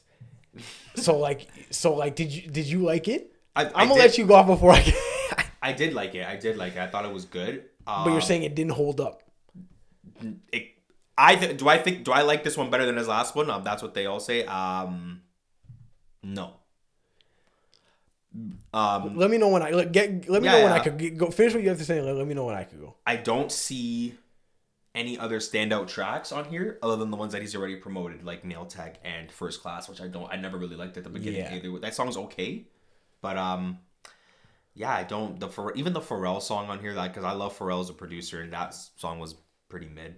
Um, I got a shot. There's like I'm saying, there's a stretch here where the songs are mid, and that's like it's like movie star. I got a shot. I'm like, could have been a little better. Um, yeah, what'd you think? So obviously, I'm not the biggest like Jack Harlow person, but I could appreciate that he makes like good music. Mm. You know what I mean? Like he may not be the best rapper or the best lyricist, but he makes like like solid music. Mm-hmm. So that's why I was okay with with giving this a chance, and I see now like the industry was obviously kind of getting behind him and pushing him. So like. I, I was down. I was down to listen to the album. And it's funny because I never even asked you. Like, I, I think I You never. And that's the thing. When it came out, I was like, "Do I put this guy on or do I?" You didn't, but it was I, maybe it was Joe Budden, but Joe Budden was like, "Yo, Jack Harlow's my guy. Yo, the album's flames." I feel like he was bigging it up, or like he really liked it. So I was like, "Yo, let me give it," because I know you and you and AJ were talking about it. Yeah, when we were in Mexico, I was even saying there. There was something I said. I think I was like, um, he might. I was like, I was like, I don't know where his career is gonna go, but I said a lot of people are looking him, looking at him as that guy to really be the next guy, not lyrically, not being the top three like J. Cole, Kendrick, and Drake, but be that next guy to have the hits, like that guy to Yes. being like, Yeah, and that's what I saw also. And when I listened to the album, I messaged you like right after, and I was like, honestly, it was kind of mid. Yeah, like I, from I, jump. I, I, I, I'm not, and I'm not surprised to hear that too. But I think off my first or second listen, I'm like, oh, this is pretty good. But when you have an extra week to really take it in and you dissect what he's really going on, there's a lot of cheesy bars on here. But that's who and, Jack Harlow is. and that's is, who he is. and I'm okay with that. Like even that's this, even, that's what I was hearing. Like like what I've been hearing. Like some someone else that I was listening to said it, and I was just like, yeah, that's kind of true. It was just like he was saying, like I guess he was expecting him to come a little harder lyrically, even though like you're saying, he's not the biggest lyrical person, Hmm. but. Because I guess this person was a Jack, is a Jack Harlow fan, he was expecting him to step it up a bit, Mm-hmm. but he was like, "Yo, honestly, he's like this album was kind of Doctor Seuss's, Doctor Seuss's, yeah, I can see that. you know what I mean? Like it Yeah, was, it no. was, it was a lot of like cat, hat, Yeah, bad, rad. yeah. T- you know what I mean? Like simple, simple bars, Simple and bars, simple and that's what I and that's and that's the thing. It's like if you like his music like that, if you like the, him so much as a as a as an artist, you're going to accept that. Yeah. and and, and that's what I'm saying. I like him as an artist like that, where I can accept it. Even just like what it, it's so funny. There's some songs even where I go, even on first class, where he's like the pineapple juice, give her sweet semen. I'm like, you know, like what? Um, there's a couple, there's a lot, there's a lot more that I really can't even think of at the top of the head, but um, okay album. I'm definitely Yeah. gonna go back to it. Um, there's gonna there's standout songs in here that I that I like that you know like a blade of grass. I love the song with Justin Timberlake. Parent Trap is great. Um, and you know the singles that he had, Nail Tech was great. That that was a great. If he didn't make that a single and just let it come on the album, that would have been awesome as well. Um, but yeah, Jack Harlow, keep doing your thing, keep making your music. You, you know what I mean? You the sky's the limit for you in in the rap game, and uh, you you clearly have a lot of uh, go aheads from the from the older heads in the rap game, and No, you're definitely, you're definitely on the come up. Um, Yeah. But yeah, no, definitely wasn't for me for the long term. Like for, for like a one time listen, like it wasn't the, worst, yeah. production wise, it was great. But I would definitely not go back. Me personally. Um, Maybe on the third album. Maybe on the next one Yeah. it better. What'd you think of um Churchill Downs? Because okay, obviously it leaked, and I sent it to you guys, so you've heard it well before the album came Yeah. out. Um, it was all right. yeah. To me, E- it was even alright. e- and it's so funny because even though it got leaked, he went. He, said uh, he, uh, on the Breakfast Club that he even went back and added some more, like, added like another piece to his verse to make it the same times as Drake. So it's kind of like them going back and forth Yeah. and still kind of the same kind of thing. Obviously, the final version sounds better because he added a little bit more bars, and you know what I mean. He did he did his thing, but yeah, like you said, it was mid to you. I thought it was pretty good.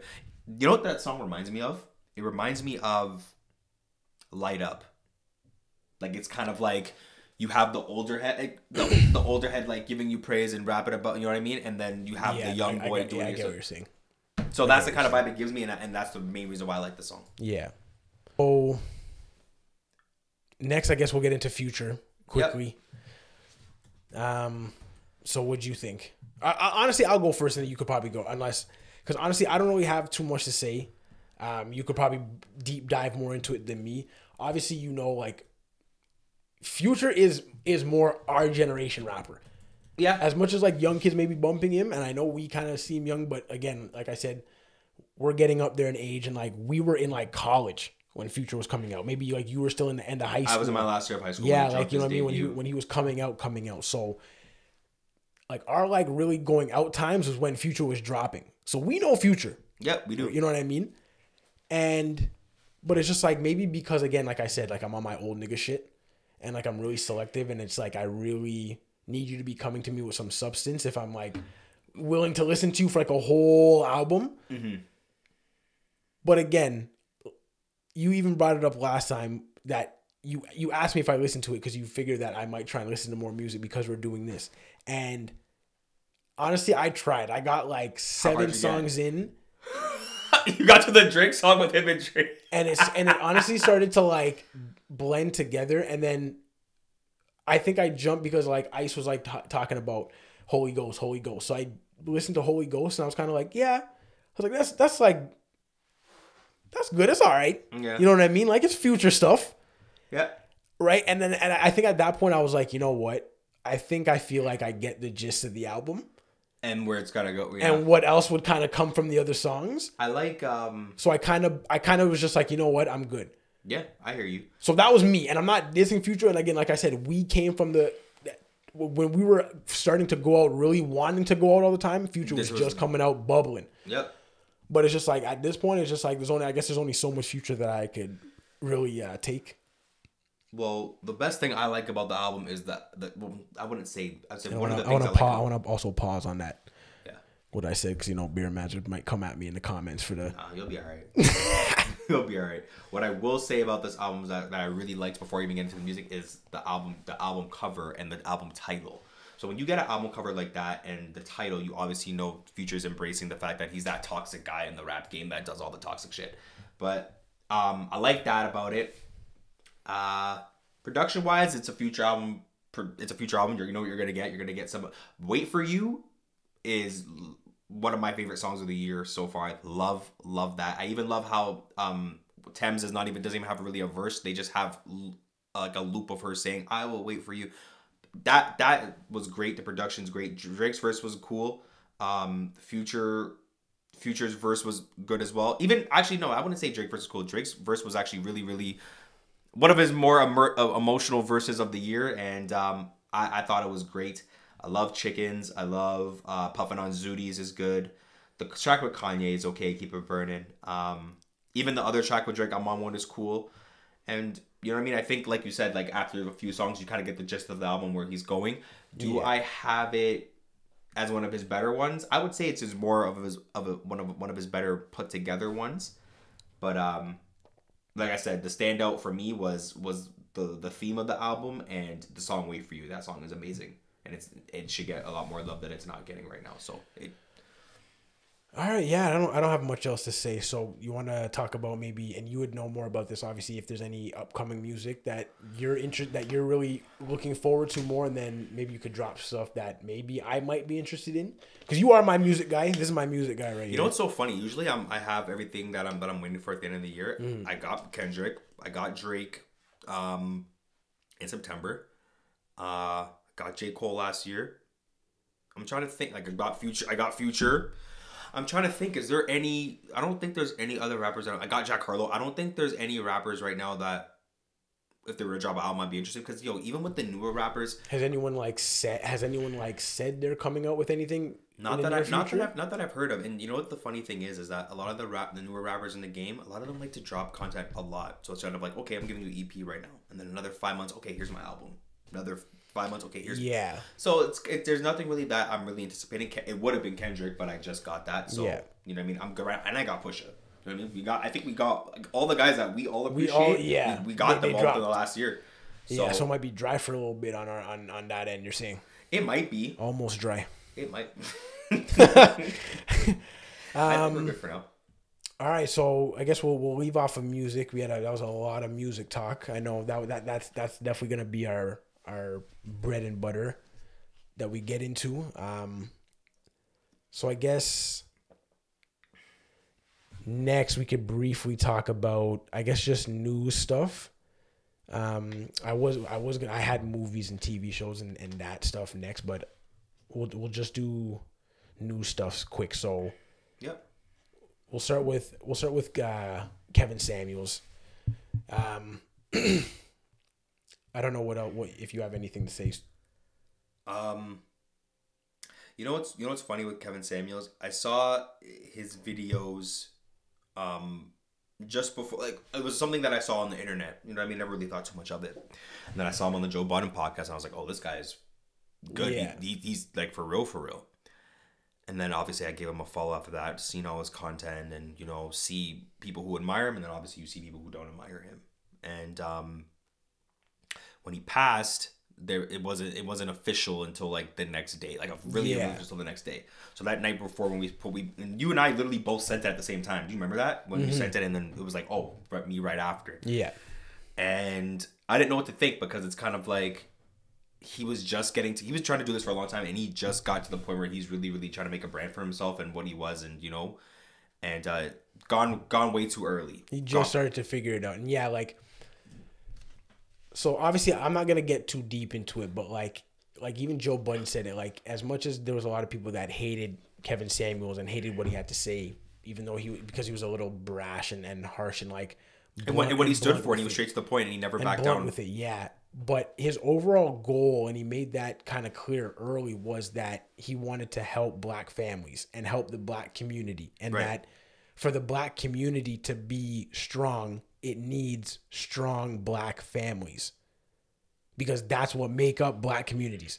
And that was his overarching goal. And and like joe budden was mentioning mentioning that like he he might have even though like obviously close to the end he would have started he, he he feels like he started to deviate from that goal a little bit with like how harsh he might have been being or how blunt he would have been being he still thought the overall goal of helping black communities was still the same and like say what you want like even if you hated hated the man like like I was seeing comments like being like, "Oh, good, thank God he's gone." Like them kind of. I've seen that too. And it's like it's crazy to me that like people could just be so comfortable with be, just wishing death on people and being just okay putting it out there on the internet. and putting it out there like that, like.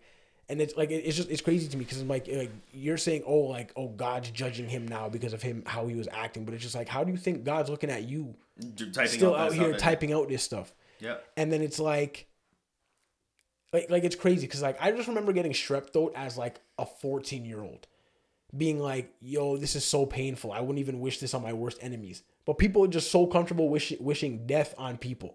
You know what i mean? Like at the end of the day like that guy is that guy had a mother Mm. that mother lost their son just now. Like he had a daughter. That daughter lost their father. So it's just like for you to be like for you to like actually be okay typing out yo thank god he's gone. Yo god will judge you. You know what i mean? Like da, like who like who are you? And that's where it's just like And it's clearly people, obviously, that I don't know. Nine times out of ten, I feel like when he's discussing something about people, so discussing stuff about women or people that they don't like, I feel like nine times out of ten, you're that person that he's trying to like talk about. And no, I'm not judging anybody, but that the thing is, is just like with him. I think with him, he's just trying to get to the point and be straight with it, and you know, not be, um, you know, what's the word? Uh, when you're not trying to, you know, be around the bush around it. yeah. You know what I mean? So I think that's one thing I, I- I definitely appreciate Kevin Samuels for. Thank you for um, you know, showing us the way, us men showing us the the way, and uh, trying to save uh, black families as well. yeah rest in peace kevin in samuels peace, and, and i mean it's death is never a a great thing especially for the people that are still here and are mourning that loss like it's it's never a good thing so just just give people their space and just you know what I mean? Like you don't need to be that mean and that harsh. So rest in peace, Kevin Samuels. And we'll kind of leave it at there. Leave it at that. All right, next. So we have the Young Thug Gunna Rico case. I don't really have too much, but that's just crazy to me. It is, and um, honestly, for the obviously we're the we're the older generation for rap. For rap. Not I wouldn't say the older, but we're up, we're getting older up there Yeah. for, in being that in that topic. But um, I work with a lot of younger kids and who obviously admire Young Thug and Gunna. And you know, when they heard this, like this was like a really big thing to them. Like this was like you know, holy shit, like. These guys are, you know, getting arrested. They were even asking like, "What are RICO charges?" And I didn't even know what a RICO charges. All I know is it's, it's just a, it's just a whole bunch of unorganized, sorry, a whole bunch of organized um, crimes that you do Yeah. that the police can gather up on and, and, and get you locked up for it. So when they heard that, especially I know one kid that I work with, he's supposed he's at Metro Metro right now, and uh, Young Thug was a headliner, so he he paid his money to, to actually just see Young Thug like on the on the second or third day, and he won't even be there right now because obviously he's in jail. But this is a big thing for the for the younger rap community, and um, with the RICO charges, for, for this, it, it, it's an 88 page indictment that named nearly 30 people and contained evidence going as far back as 2013. So there's a whole bunch of shit that they've been wrapping up from for the years and just trying to climb and get a whole bunch of questions on them for. Now, do I feel are they guilty? Pro- probably. Do I think they're gonna do jail time? Probably, but I don't. But I don't think they're gonna do a lot. I mean, I mean, this is like I said, like this is a lot of, and then it's funny because the last case I've seen in the rap community for um for this kind of case for this RICO charge was six nine. So with that, obviously you saw how that went. He was going to be locked up for 25, 20 to 25 years unless he didn't snitch and he did that. I don't think it's the case for this situation.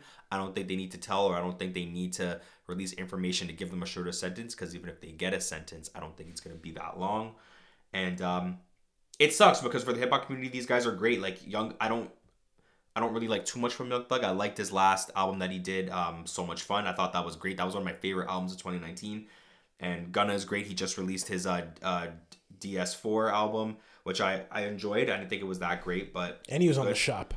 yeah, he was on that too. So he that's what I'm saying. He's he's a big uh, fashionista, in the um, in the rap community as well. Like he's up there with the ASAP Rockies and the Kanye West for like the fashion for the fashion Yeah. um, rappers and stuff like that. So overall, I would just say you know um, I don't think it's gonna be something that's gonna be prolonged. I do think it will get dealt with shortly, and I don't see these guys doing a lot of time for these cases. And I hope they don't snitch on, because that would suck. Yeah. They would lose a Yeah. lot. They they seen how what's going on with six nine. I they I think they know for their career it's better not to snitch if they if they're getting a a, a shorter sentence. Yeah. So I guess next we could get into movies, TV shows, and stuff. Um, so I guess we'll we'll just cover some of the big superhero movies that we have went to go see together. Yeah. Um, and with some of our other boys that we usually go with, uh, we usually always go see these movies like opening weekend. You know what I mean? Like we're there. We always we love these movies. We've been going opening weekend since literally like we were like 14, Yeah. 15. You know what I mean? Going to see like Iron Man 1 and Yeah. and all that shit together. So we've been going to see these movies together for for a long time, my friend. So we'll start off with Spider Man because that's the first one that came out in this list that we're covering. What do you think? Amazing. That was definitely my favorite superhero movie of 2021. Um, I thought everybody was great. The acting was definitely more enhanced as it was in the the, the last two Spider-Man movies out of the trilogy. Um, obviously, the surprise in the movie was was probably the biggest. That to me is probably one of the bigger surprises in Marvel in um, MCU history for me. The like the the, The- the- Spider the- Spider Men's. Yeah. To me, like I mean, I don't see a moment bigger than that and getting. I've never. We were in the theater, man. The whole audience was literally like, yeah. When like, Andrew Garf when Andrew Garfield yeah, came in, and, yeah. and and Tobey, like I've never seen that in a movie theater for for any for any surprise like that. And um, to me personally, like I, enjoyed that moment because it's like I've never experienced that in, in the movies at all. It's something so crazy like that, yeah, and it was amazing to see. And they all did a good job too. It's not like they did. They did. They each had like their their own piece to add to the movie. Yeah, and it was um, they, they definitely either didn't lose a step and they didn't take away from the movie, and they and they definitely didn't add in too much either. Like they their parts in it were, were perfect, and Yeah. and and they were and they were great. Like they fit in the movie so perfectly. Yeah, so I, I really enjoyed it as well. It, it probably wasn't like I, I honestly I feel like I might have liked Shang Chi Really, more than Spider Man. really. I really enjoyed Shang. Yeah, I, I that was one of the best like origin stories in Marvel to me. I really did enjoy Spider Man though. The the second act to me, like the middle part when he's like in the apartment trying to fix them and stuff. oh yeah, yeah. that part to me kind of slacks because I, I watched it again not too long ago, like probably like early April, and the second act kind of falters a little bit, but the third act is like so good, and not just because of like all the action, but just because of like the like the acting, like when like after like um what's his name William Dafoe kind of like turns. Yeah, Merc's Aunt May. Yeah. like that point like all of them like great acting like from that point like the movie really kind of turned up and like even just from an acting perspective like when he goes to the rooftop and he's like crying. Oh yeah, and yep. and then uh, mj comes and Daya comes and and his friend come. Like that's where it's just like it really turns up not only just not only just like on an action level but just from like an acting level too and just like a like a uh, just a general overall movie perspective. Like i feel like from that third act it really starts to improve uh, but yeah no i really did enjoy it. I enjoy seeing obviously dr Oct- our dr octopus from spider-man 2 come back. Because spider-man 2 is still one of the best Yep. comic book movies like of all time. You know what i mean? Like the fight scene on the train. Yep. spider-man 2 is still one of the best. So good seeing him. Good seeing william Dafoe I would say, I will say, the only thing that I thought that was different because everybody who came back in the movie from the past Spider-Man movies were were great. I think the only one that they really had to tweak and adjust was Jamie Foxx's character. He was not. That But was I- not the same. no it wasn't but i like his new I so do I. So do I. look at look at this new new yeah. Like- yeah. like, He's like, I like the energy here. Yeah, know so, I mean? like, so it's kind of it's nice. I I did like that tweak also. He, I did like his. I did like him in this version. Also, who else? Oh, The yeah, the, the- the, lizard, lizard was just like the, whatever. the Sandman was kind of weird. Sandman was kind of like a, a throwaway one also. Uh, but yeah, with regards to the Spider Man, like obviously Tom Holland did his thing, but like this movie made me get more of an appreciation for Andrew Garfield and just just how good of an actor he is He is. and just what he was trying to do with his Spider-Man, like I grow more of an appreciation for his Spider-Man. And even just his Spider-Man to me is still one of the best ones with regards to how his how he fights. Yeah. Cuz I don't know if you remember in the first Spider-Man how like he was fighting Lizard in the high school Yeah. and he was like crawling all over him like a real Yeah. spider. Like he I like the way that that Spider-Man fights and his suit is still probably one of the best Best suits. ones. Yeah. And then obviously Tobey's the goat. Yeah. You know what I mean? Tobey's just classic, and they each had like their amazing parts, especially in that end fight scene. But yeah, overall, I I did enjoy it. I, I don't know if I would put it in my top ten, just because there's so many Marvel movies now. Yeah. You know what I mean? If you No, think about it, it's like there's like Black Panther, Infinity War, Endgame, First Avengers, Iron Man, Guardians. Like there's so many But- now at this point that it's like it's hard. So I'd have to think about it. Like if anything, it might squeeze into that top ten. Might but be ten not- or nine. Yeah, but like if anything, like I still think like I, of of these three Spider Mans, I probably st- Spider Man movies, I probably like Far from home. Or homecoming. Homecoming, maybe with Vulture, Oh really? maybe the most of the three of them, Okay. and then maybe this one being second, uh, and the Mysterio one maybe third. But I I do love all of them, and they're all really good. But that's that's probably like my order, and it's I'm interested to see how they'll incorporate him back into the MCU with now everyone not knowing like his identity. Um, so I'm interested in that, and I don't know if you have any final thoughts on the movie. No, I thought it was awesome. I, I definitely wish uh, I even got to see it a second time after, right before um one of the our last lockdown that we've had here in Canada. But um no, I, I, it was definitely one of my favorite movies of last year, and it's definitely something I want to watch again down the line for sure. All right, so we'll move on to the Batman. Um, again, we saw that together. Have you seen it a second time yet or no? I haven't. Have So, you? No, but I remember it fully. I I do too. Um, what do you th- wh- wh- what do you think? And and did you have what was it different than what you first thought when you walked out? Because my thought now is different than when I first walked out. That's good. Um, for me, I, I still really like the the te- the, uh, the detective aspect of the movie. It made me feel like I was playing like you know it's kind of felt like you were playing um, Arkham Asylum or Arkham City. You know what I mean? There's always like in those games you always see him like looking for clues to find where you know Yeah. where it's going. I the only thing I didn't like about the detective mode it felt a little too uh, too prolonged. Like I feel like they were looking for the rat for like an hour and a half of the movie. You know what I mean? Yeah. You know what I mean? The part, you know what, I mean? you know what I'm talking about? Like Yeah. they were looking for that piece for a long time. But I still do like the part, even when he has Catwoman as a disguise and she has like the thing in her eye, in her eye, I think it was, and um, he has her going through the club and talking to certain people and guiding her what to do and ask questions. Awesome. That That's was- like that's like bat. That's Batman. that is Batman too. That's Like. Batman esque. Yes. I love that. Yeah, I agree. Um, the fighting, the combat of uh, Batman was okay. It was it was you know what I mean? I it- it's definitely Ben Affleck to me is still the Is the best one. I was- combat one. yeah. Mm-hmm. combat com- just just basing on the combat wise. Like, do you remember that scene in Batman vs Superman. yeah when he comes to the floor? yeah, Like, then- that's like the Arkham game. Yep, for sure. So I agree with you on the combat. Detective was good. The movie, um, I thought the interaction between him and the Riddler, like I, th- I wanted more of the Riddler. Like I wanted more, like you know that part where they're in, where he walks and sees him in in jail, and they interact with each other for like that five to ten, like for five minutes. Yeah. I want more of that because I feel like it didn't do the Riddler's character justice throughout the whole movie. Obviously, um, Catwoman was great. Uh, Colin Farrell as the Penguin was great. The race, the highway scene with them race, uh, them together was great. Um, the my only cons- issue with the movie was the actor playing Robert Pattinson. I didn't think he was bad. I didn't think he was bad. There is, uh, like I said, like we spoke after the movie, and you even said that there was there were reports saying that he wasn't really, I don't know, bought like fully bought in yeah, to it, and in that, and there's some parts of the movie where it showed. You know what I mean? Yeah, and that's and that's what I kind of first said, but obviously like like I said because I'm I'm acting now and I'm trying to like obviously get into this. Like obviously like I know how hard it, it, it can be to like stay committed especially for that long.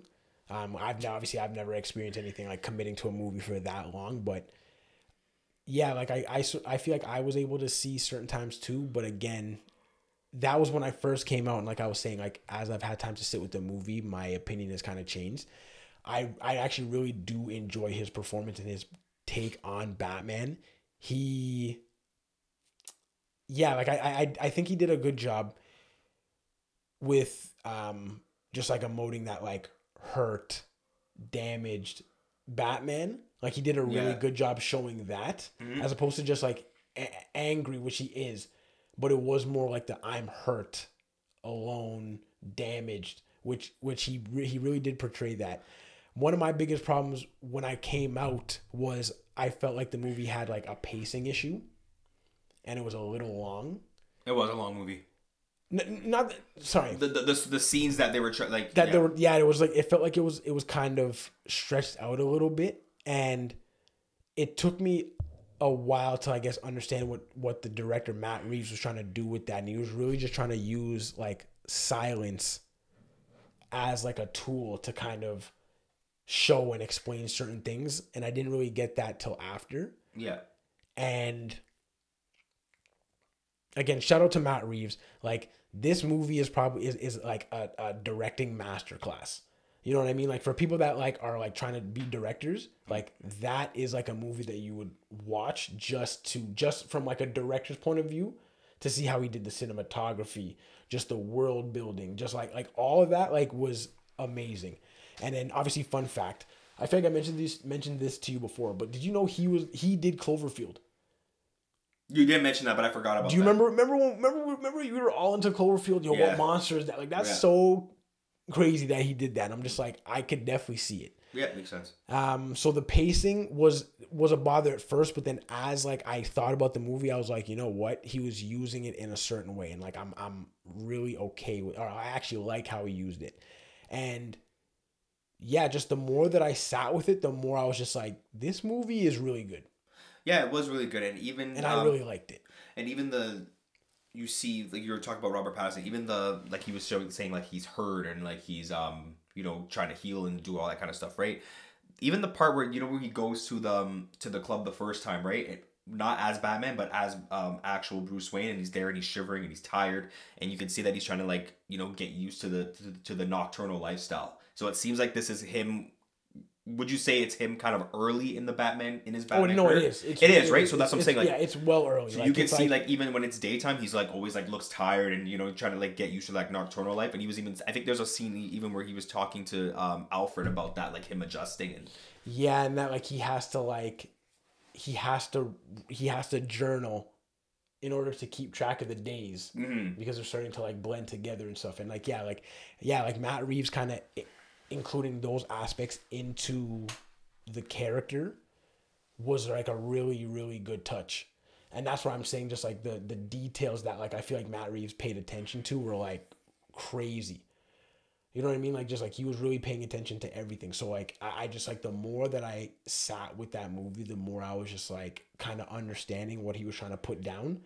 And I was like, you know what, this is is a really good movie. Yeah, it was, it was good. I honestly truly enjoyed it. Worth the wait. It was, and I'm excited to to to watch it again when when I'm able to do that.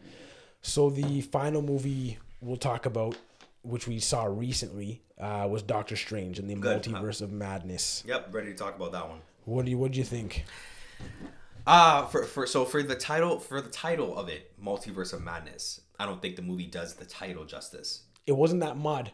You're saying I, yo, I'm thinking, I'm thinking, yo, multiverse of mass. I'm thinking they're jumping into everything. Like, you know what I mean? I'm thinking, you know what I mean? But I, I have to obviously, you know, temper expectations and and be like, this is still a Doctor Strange movie at the end of the day, and obviously it shows Doctor Strange as he's developing his character as well through through um through the hopeful trilogy of what he has with Doctor Strange.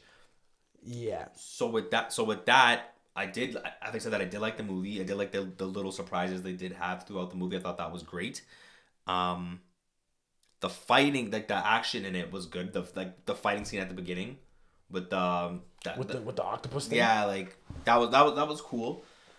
Um, other than that, I did like um, Wanda as the as the villain. I, I like that. I liked it. Yeah. And I loved what she stood for as the villain. Obviously, they all like in most movies they always try to lead it back to something that has to do with their family, which is obviously the the the easy way out. Not want to say the easy way out, but that's the obviously the main reason why people do crazy things, right? Is because they want to protect something or it's something Yeah. they, they desire.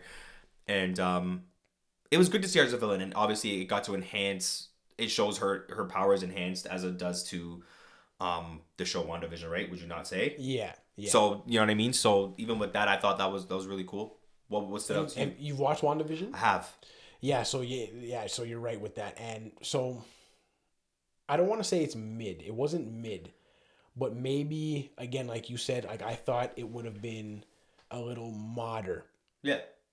And and I'm not saying that I'm sitting here expecting that they would have thrown in like like Chris Evans fantastic uh Johnny Johnny Storm from Fantastic 4 and Nicolas Cage's Punisher. Yeah. Or or Nicolas Cage's sorry, Ghost Rider. Or Spider Man pops out again. You know what I mean? Like I was I wasn't expecting them to go oh Ben Affleck's Daredevil.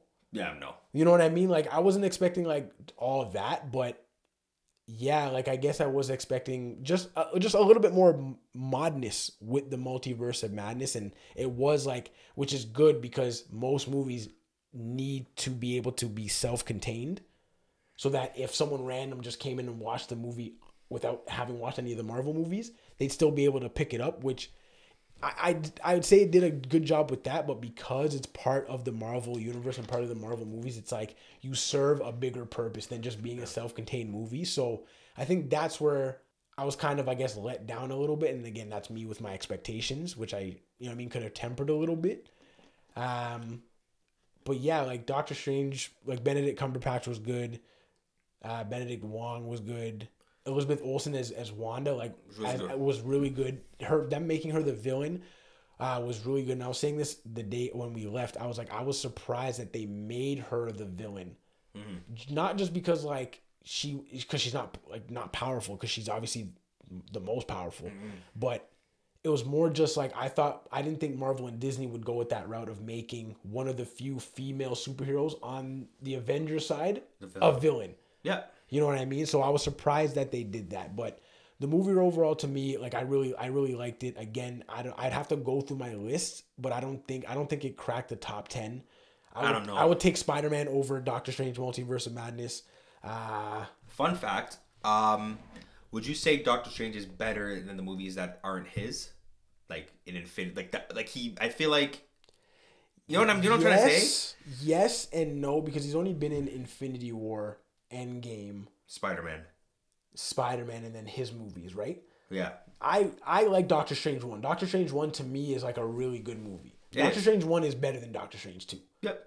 right? So that's where it's just like I'm I'm with you, but I'm also not because Doctor Strange one is his movie and that's really good. Hmm. But then on top of that, yeah, like, Him in Infinity War was great.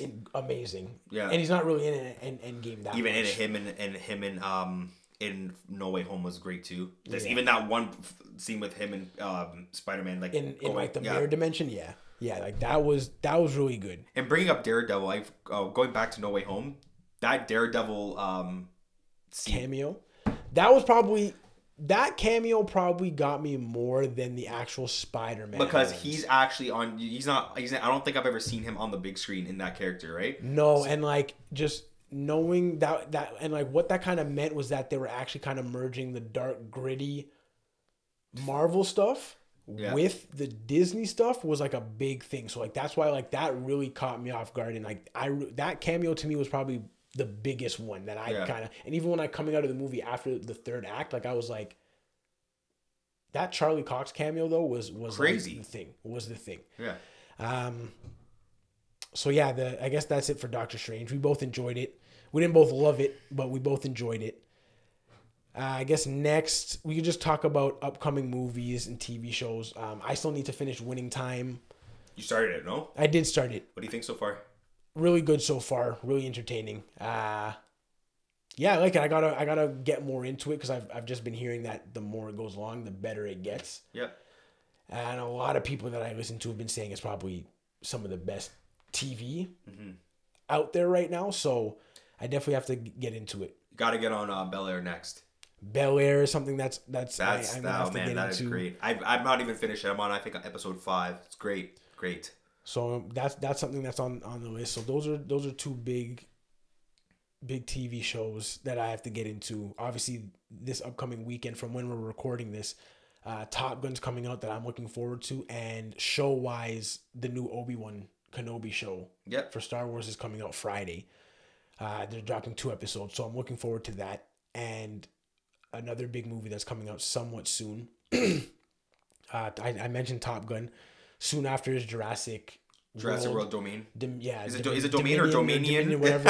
um, uh, Thor. we're probably gonna see that. That looks really good, and then Thor soon after that, which again looks good. They haven't given too much. Haven't really seen Gorr the God Butcher, Christian Bale's character, Yep. in the trailer yet. Which I think they'll probably drop the next trailer and, and reveal him in that. But those are probably the, the the big movies upcoming. Black Panthers later on in the year.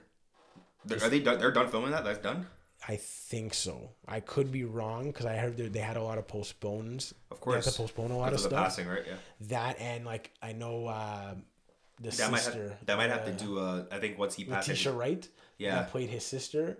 Got She's like a concussion or something. Like she got like injured or something. On so they- set or off? yeah, or something. So they had to take a break. So I can't remember exactly if they're still on schedule with Black Panther two, but I think I that's feel like they're coming close out, because that thing with um, coming out this year. I think that thing with Ryan Coogler just happened recently as he was taking. Remember that thing that happened with him at the bank or whatever? I don't know if Yes, So yeah. that, I think that's they were close to being done at that point. Yeah. Okay.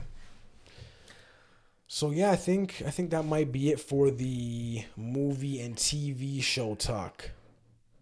All right, and the last topic we got today is basketball.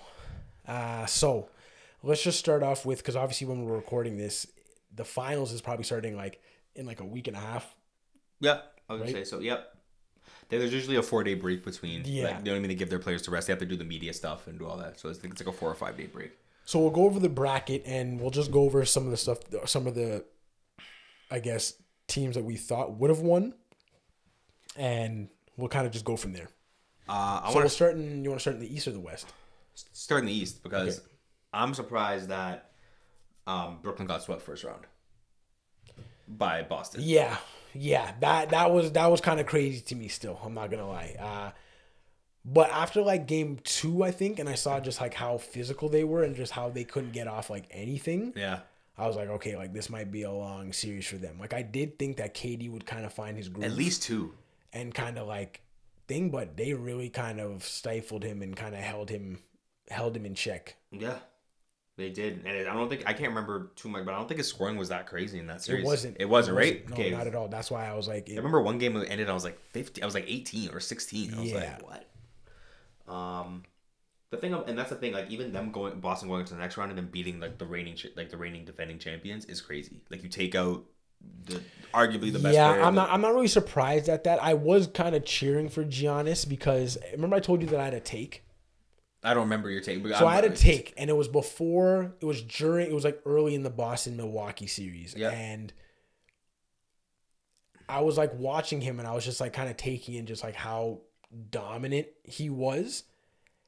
And at the time, I was like, you know what? If this guy beats Boston, that just swept Brooklyn, Yeah. goes to the next round, beats Miami, goes to the finals and beats Phoenix or Golden State. I'm like, I think we might have to be talking about like top 15 player all time Giannis. kind of talks. You know what I mean? With back to back MVPs, defensive player of the years. Oh yeah. Yeah. If he would have won this year, it would have been back to back titles with no Middleton. Does he have? He has two defensive player of the years, right? Yeah. That is and like crazy. him him just being as dominant and like if he would have did it with no Middleton, Mm-hmm. it probably would have been one of the hardest championships championships won Runs. that I would have seen in the last maybe like decade in a long time because like going back even the last few years, right? Last year obviously it was it was still kind of it was still kind of even. The year before that The, was the, the the bubble. it was the bubble, so that was the Lakers, Yeah. And then obviously the year before that was the Raptors. Toronto, Yeah. and yeah, like I just I I just look at if if Giannis got through Brooklyn and then Miami and then Golden State, I I would have just looked at that path.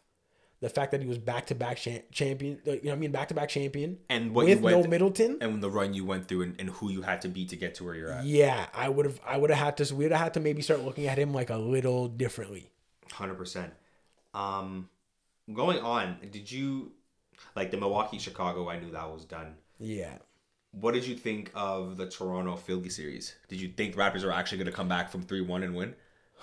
no, I had I had because hope. that's that's really tough. sorry from like, three zero from three zero from not three oh one. Oh. it was three oh yes and and no and I, I I figured we would get game four Yeah.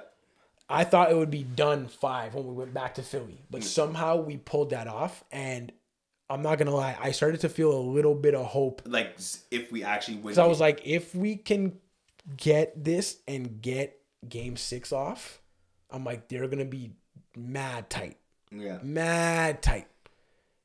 And I was like, I, I feel like they wouldn't perform in that game seven, but obviously they ended up taking Yeah. game six, and they Philly needed to. And just Philly even it just to. even the confidence from Nick Nurse, even him being like, well, you know what I mean. We're down 3-0. Someone's got to do it. You know what I mean? Yeah. And that that was kind of like okay, like you're, he's right. Like some team's gonna do it eventually. Yeah. And I thought we would have been the first one, but I guess not. But you know, the future's bright. The future's definitely bright. yeah, for sure.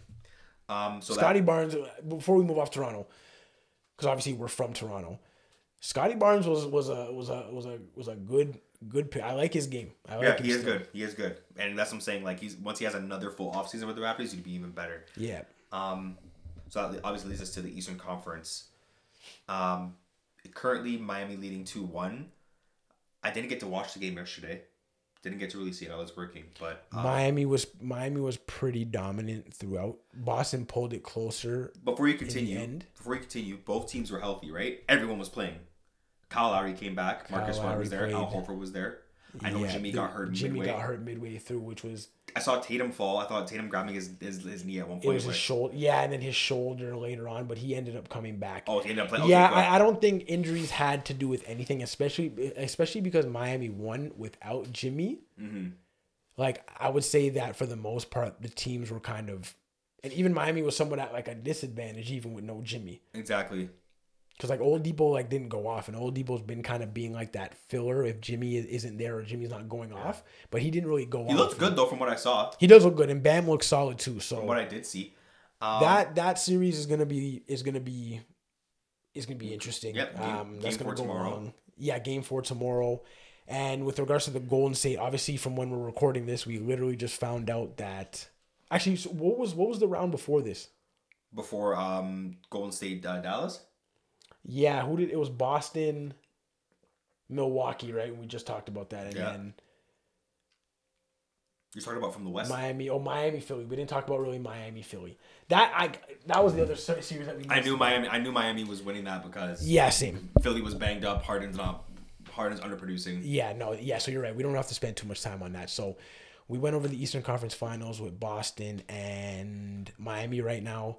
That's gonna go seven, I think. That that's gonna be a really, a really dragged out series, and it's just crazy because Miami, like, basically dominated Boston in Boston for the most part, and then game two, Boston dominated Miami in Miami. So it's interesting. Clearly, both teams aren't scared to like play away. Yeah. So it's definitely gonna go seven. I think uh, it's gonna be interesting. Uh, so I guess we could move over to the West. You want to start at Mem- uh, Memphis and Minnesota? We'll start first round. Honestly, I knew that was gonna be a tough series I didn't. for I- Memphis I, I, because. They're both young teams. they're both young, athletic, fast. Like it's like the matchup. It was a bad matchup for Memphis. That's why I had a feeling it was gonna be tough, just because they have like the personnel to match Memphis and how they play. They do. So I knew that was gonna be tough. Um, I but I still had I still had Memphis winning. I didn't like I would have No, I, like I- the same, same. Yeah. Um, going on to Golden State, Memphis. No, we'll, see, let's stick in the first Oh, round. sorry, sorry, still. my bad. Golden State, Denver. Yeah, and had a new no new Golden State was gonna win that. Again, you y'all know how you you you and Curtis know how I feel about about Jokic. Mm-hmm. I, obviously, last year nothing. I don't think he should have got back to back MVPs. Like that's crazy to me. I'm not gonna lie, because there's only a handful of people that have back to back MVPs, and it's just like He's one of them. Yeah, that. That's crazy. it is.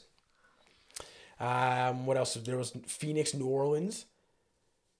Yep. New, then, Orleans, New Orleans gave them a tough fight, but I, I knew Phoenix would would would come through on that one. and then Dallas, Utah. And then yeah, I had a feeling that Utah is just Rudy Gobert gets cooked.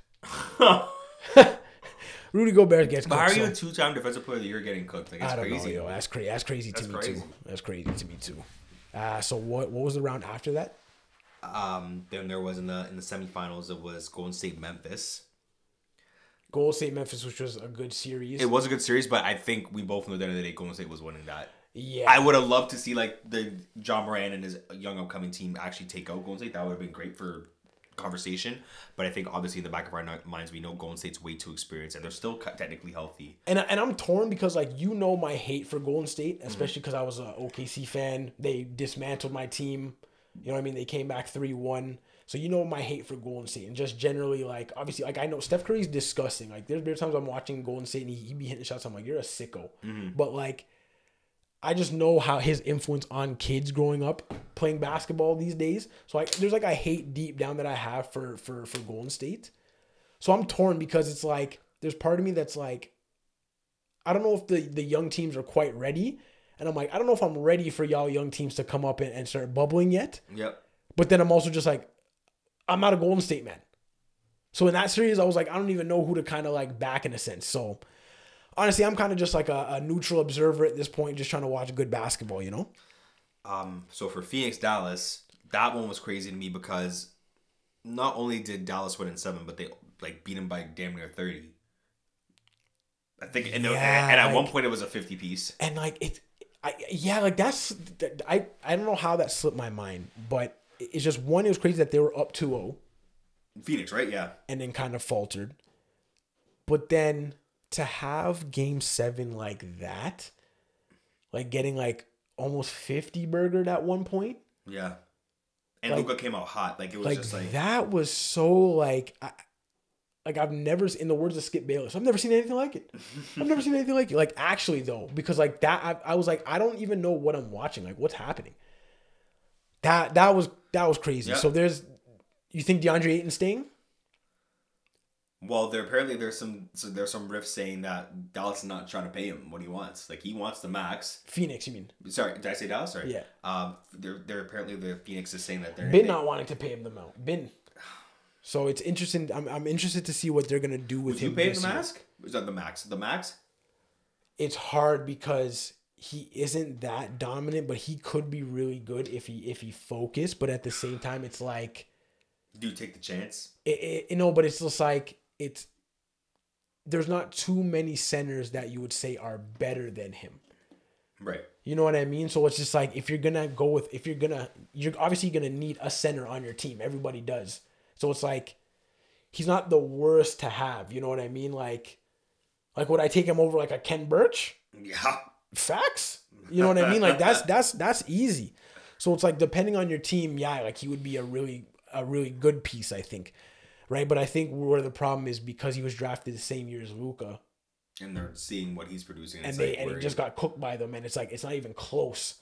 With their, you know, what I mean, with how close they are in like level, mm-hmm. it's just like that's where I think he's getting killed. But I, I, I don't know if he's worth maybe max, but I mean, he deserves like, he, definitely like deserves like a local payday, like a fifty-five.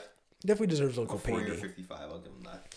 So and then yes, as we're recording this, Golden State just won today, and they're up 3-0 on Dallas, which is I I I again like I had a feeling that Golden State would win. I did not think that it would be 3-0 right now, and I honestly I was like I knew Dallas would be kind of scary, and there was a deep deep deep deep deep down that I was like, can Dallas beat them? Same.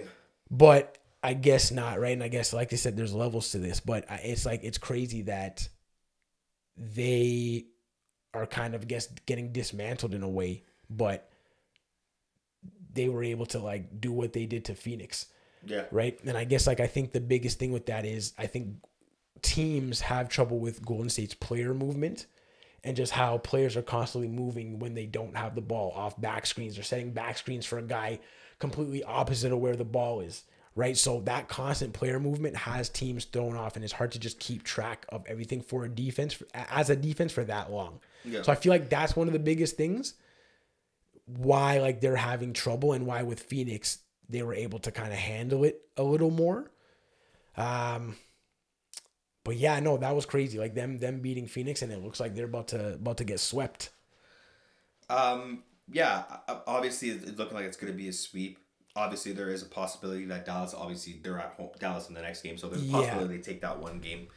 But and it's looking like it's looking like Golden State is in the gonna be is gonna be locked in the finals again for Steph Curry's. I believe it will be his fifth appearance yeah. in the finals. So who's on the opposite side? It would be um, Miami and Boston. No, I'm asking who do you think's gonna who do you think's gonna it's gonna be Miami or Boston? Golden State versus who in the finals? I want to say Boston, man. They're good.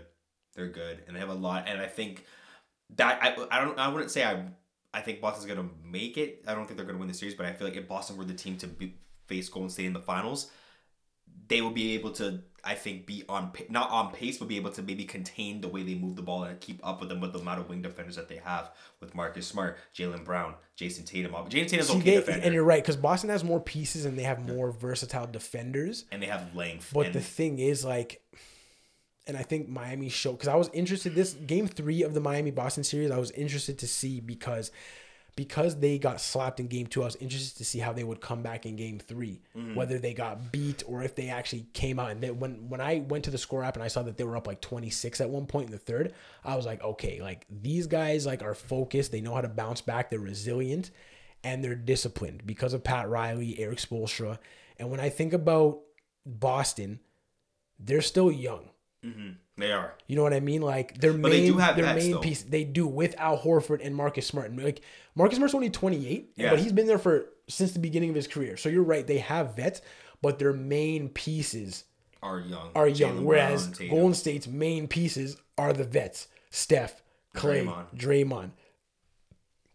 They're the main. They're the, the main pieces are the vets. even Andre too. So that's where, and again, Boston's coaching is good. Like Ime Udoka is is showing to be like a really good coach, but Erik Spoelstra is, is that guy, and he's been that guy for a long time. And it just he, it, it- you know what I mean? Like he he is an amazing coach, like a next level coach, and like he just oozes that culture and that Miami vibe off of him, and it, you can just tell with like that team.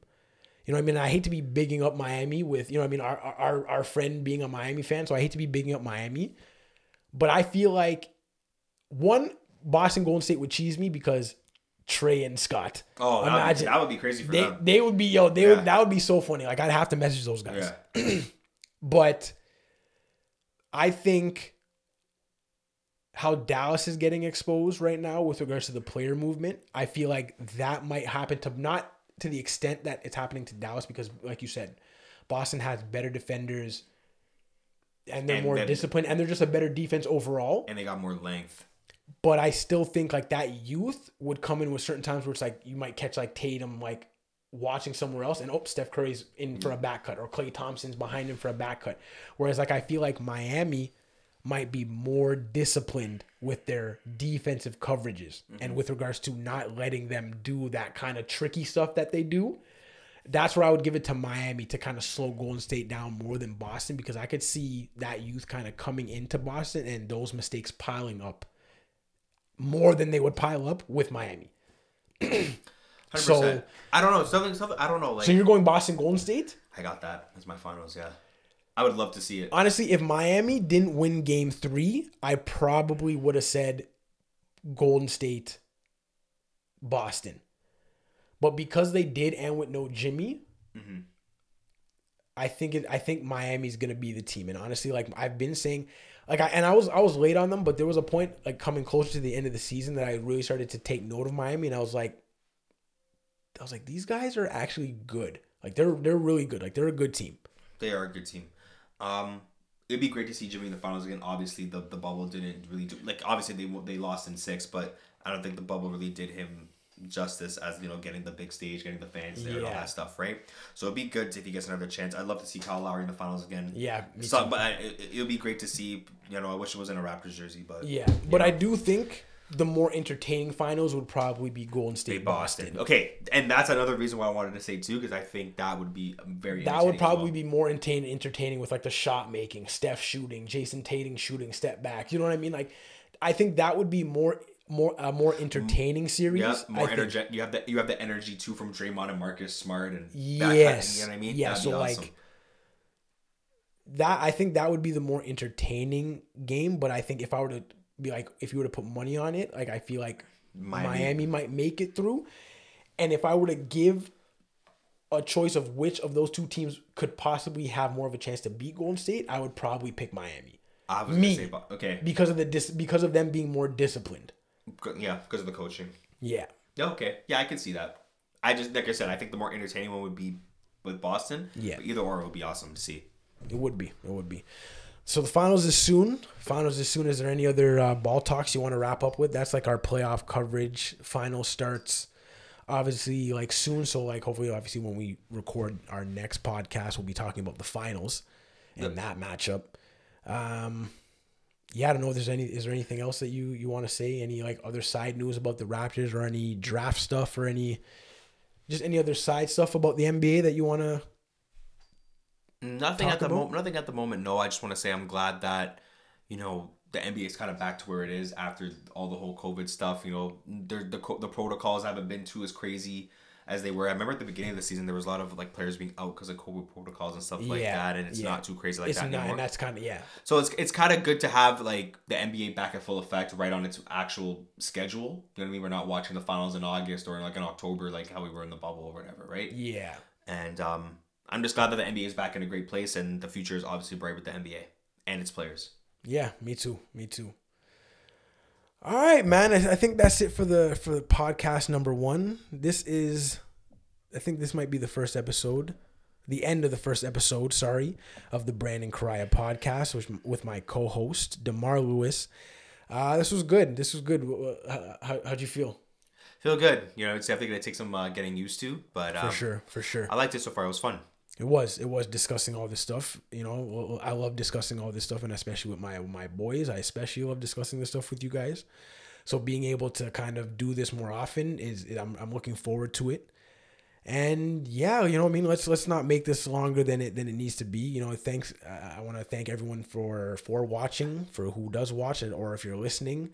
Um, again, the video portion of this podcast will be on YouTube. Uh, look up the Brandon Correia Network, and it will be under there as the Brandon Correia Podcast.